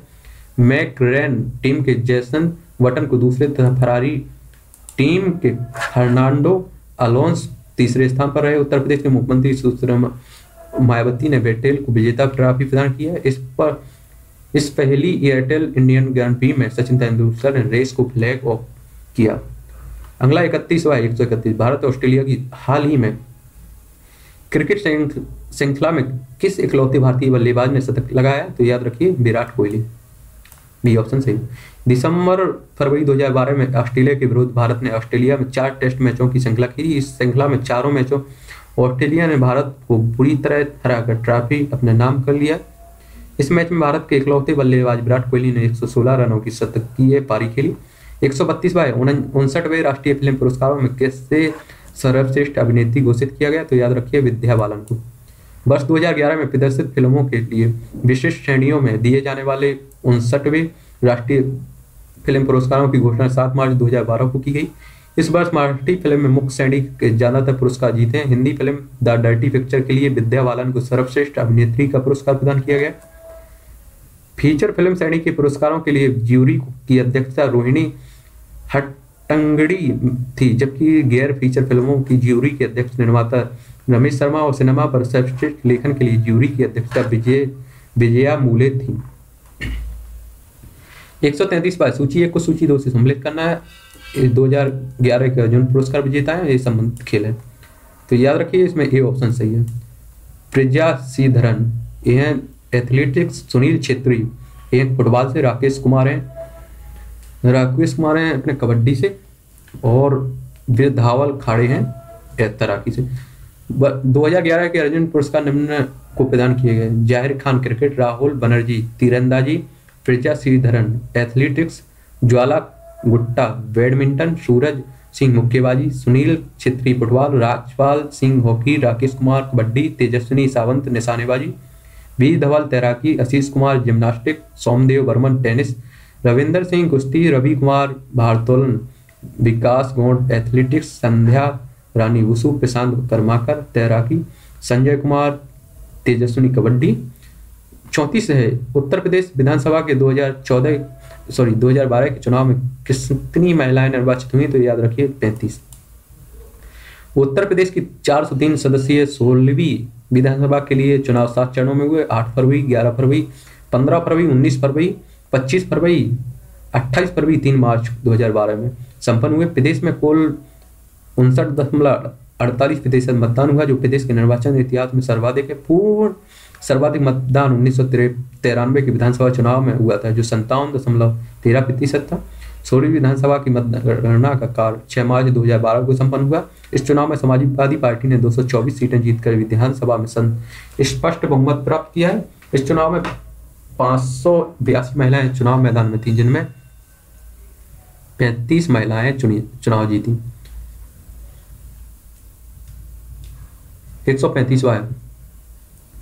निम्नलिखित में किसके किसको वर्ष 2012 में पद्म विभूषण से सम्मानित किया गया? तो याद रखिए के जी सुब्रमण्यम को। वर्ष 2012 के गणतंत्र दिवस के अवसर पर देश के सर्वोच्च न्यायिक पुरस्कार पद्म पुरस्कार तीन श्रेणियों के अर्थात पद्म विभूषण, पद्म भूषण, पद्म श्री की घोषणा की गई। पद्म विभूषण असाधारण और विशिष्ट सेवा। पद्म विभूषण उत्कृष्ट कोटि की विशिष्ट सेवा और पद्म श्री किसी भी क्षेत्र में विशिष्ट सेवा के फलस्वरूप प्रदान किया जाता है। इस वर्ष विभिन्न क्षेत्रों में उल्लेखनीय योगदान हेतु पाँच हस्तियों को पद्म विभूषण, अट्ठाईस को पद्म भूषण तथा छिहत्तर को पद्म श्री सहित कुल 109 व्यक्तियों को पुरस्कृत किया गया। जिसमें 19 महिलाएँ पुरस्कृत व्यक्ति इस प्रकार हैं। के जी सुब्रमण्यम कला चित्रकारी, पश्चिम बंगाल के स्वर्गीय मारियो डी मिरांडा, एक कला कार्टूनिस्ट हैं, गोवा की स्व भूपेन हजारिका कला संगीत असम के डॉक्टर कातीलाल क्रांतिलाल हस्तमल संचय चिकित्सा महाराष्ट्र हैं, टी, टीबी राजेश राजेश और सिविल सेवा दिल्ली के हैं। अब है हमारा एक सौ छत्तीस नेहाटी, जहाँ रेल बजट दो हज़ार बारह तेरह के अनुसार एक रेल कोच फैक्ट्री तथा संग्रहालय स्थापित किया जाना है। निम्नलिखित में से किसका जन्म स्थान है? तो याद रखिए, यह बकिम बकिम चंद चटर्जी चटो, चंद चट्टोपाध्याय का बकिम चंद चट्टोपाध्याय की सात, सत्रहवीं जयंती पर उनके जन्म स्थल अनथाल पारा नेहाटी, पश्चिम बंगाल में रेल कोच फैक्ट्री तथा संग्रहालय की स्थापना की घोषणा रेल बजट दो हज़ार बारह, तेरह में की गई। सैंतीसवा क्वेश्चन है, निम्नलिखित पत्रकारों में किसकी अपनी आत्मकथा लखनऊ बॉय शीर्षक से लिखी? ये ऑप्शन है, विनोद मेहता। विनोद मेहता ने अपनी आत्मकथा लखनऊ बॉय ए मोयर, शीर्षक से लिखी। एक सौ अड़तीसवा है भारत के निम्नलिखित राष्ट्रपतियों में कौन ट्रेड यूनियन आंदोलन से संबंध रखते रहा है? बीबी गिरी। आंदोलन, भारत के चौथे राष्ट्रपति बीबी गिरी। ट्रेड यूनियन आंदोलन से संबंध थे। वे दो बार इसके अध्यक्ष चुने गए। एक सौ उनतालीस है। निम्नलिखित में किस वर्ष असंगठित सैनिक सामाजिक सुरक्षा अधिनियम पारित हुआ? तो याद रखिए 2008 में। असंगठित सैनिक सामाजिक सुरक्षा अधिनियम को केंद्र सरकार ने 2008 में पारित किया। 30 दिसंबर 2008 को राष्ट्रपति की स्वीकृति प्राप्त करने के बाद अधिसूचित किया गया। 140 सौ निम्नलिखित में किस एक को छोड़कर बाकी सभी देश की प्राप्ति पूंजी में सम्मिलित किए जाते हैं। तो याद रखिए सड़कें। दिए गए विकल्प में वन, जल और खनिज किसी भी देश की प्राकृतिक पूंजी होते हैं, जबकि सड़कें प्राकृतिक पूंजी के अंतर्गत नहीं आती एक सौ इकतालीस बार निम्नलिखित राज्यों में किसके द्वारा अपना वन, अपना धन योजना प्रारंभ की गई? तो सी ऑप्शन सही है, हिमाचल प्रदेश। अपना वन, अपना धन योजना का प्रारंभ हिमाचल प्रदेश ने किया। अगला हमारा एक सौ बयालीस। चिपको आंदोलन का मूल रूप से किसके विरुद्ध था? तो वन कटाई, सी ऑप्शन सही है। चिपको आंदोलन का प्रारंभ उत्तराखंड में गौरा देवी ने आरंभ किया था। यह वनों की कटाई को रोकने के लिए प्रारंभ किया गया आंदोलन था। श्री सुंदर लाल बहुगोड़ा था। बहुगोड़ा तथा श्री चंडी प्रसाद भट्ट भी इस आंदोलन से जुड़े हुए व्यक्ति थे।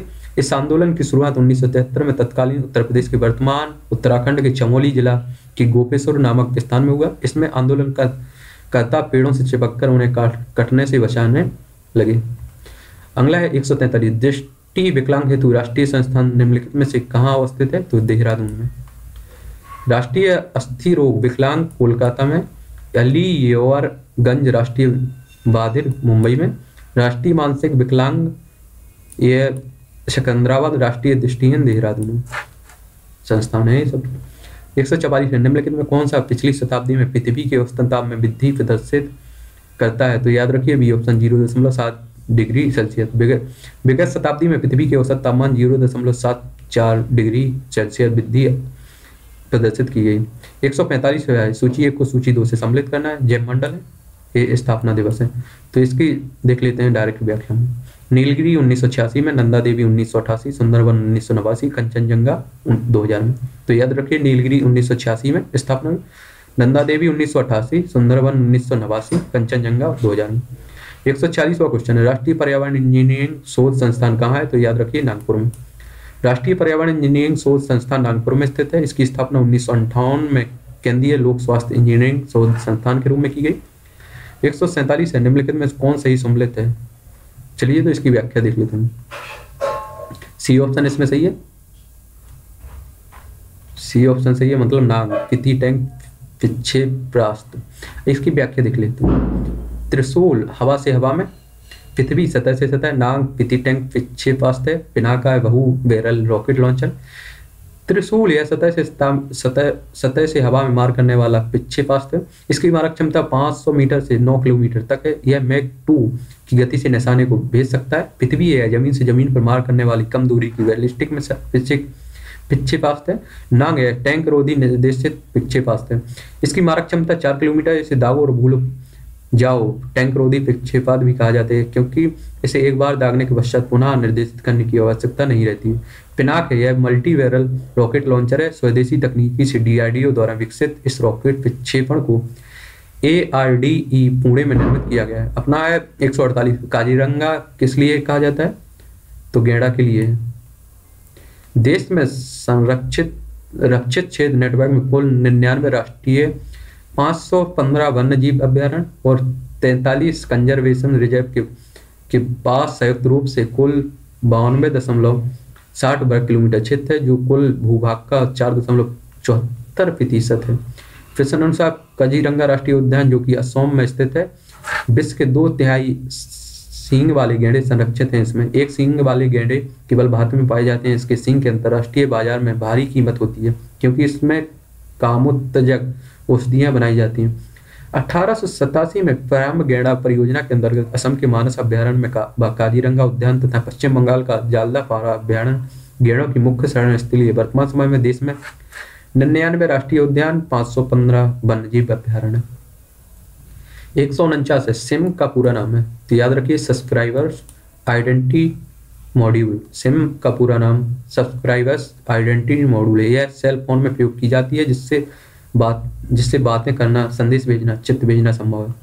एक सौ पचासवा है लास्ट होमी भाभा पुरस्कार किस क्षेत्र में विशेष योगदान के लिए दिया जाता है? तो नाभिकीय ऊर्जा।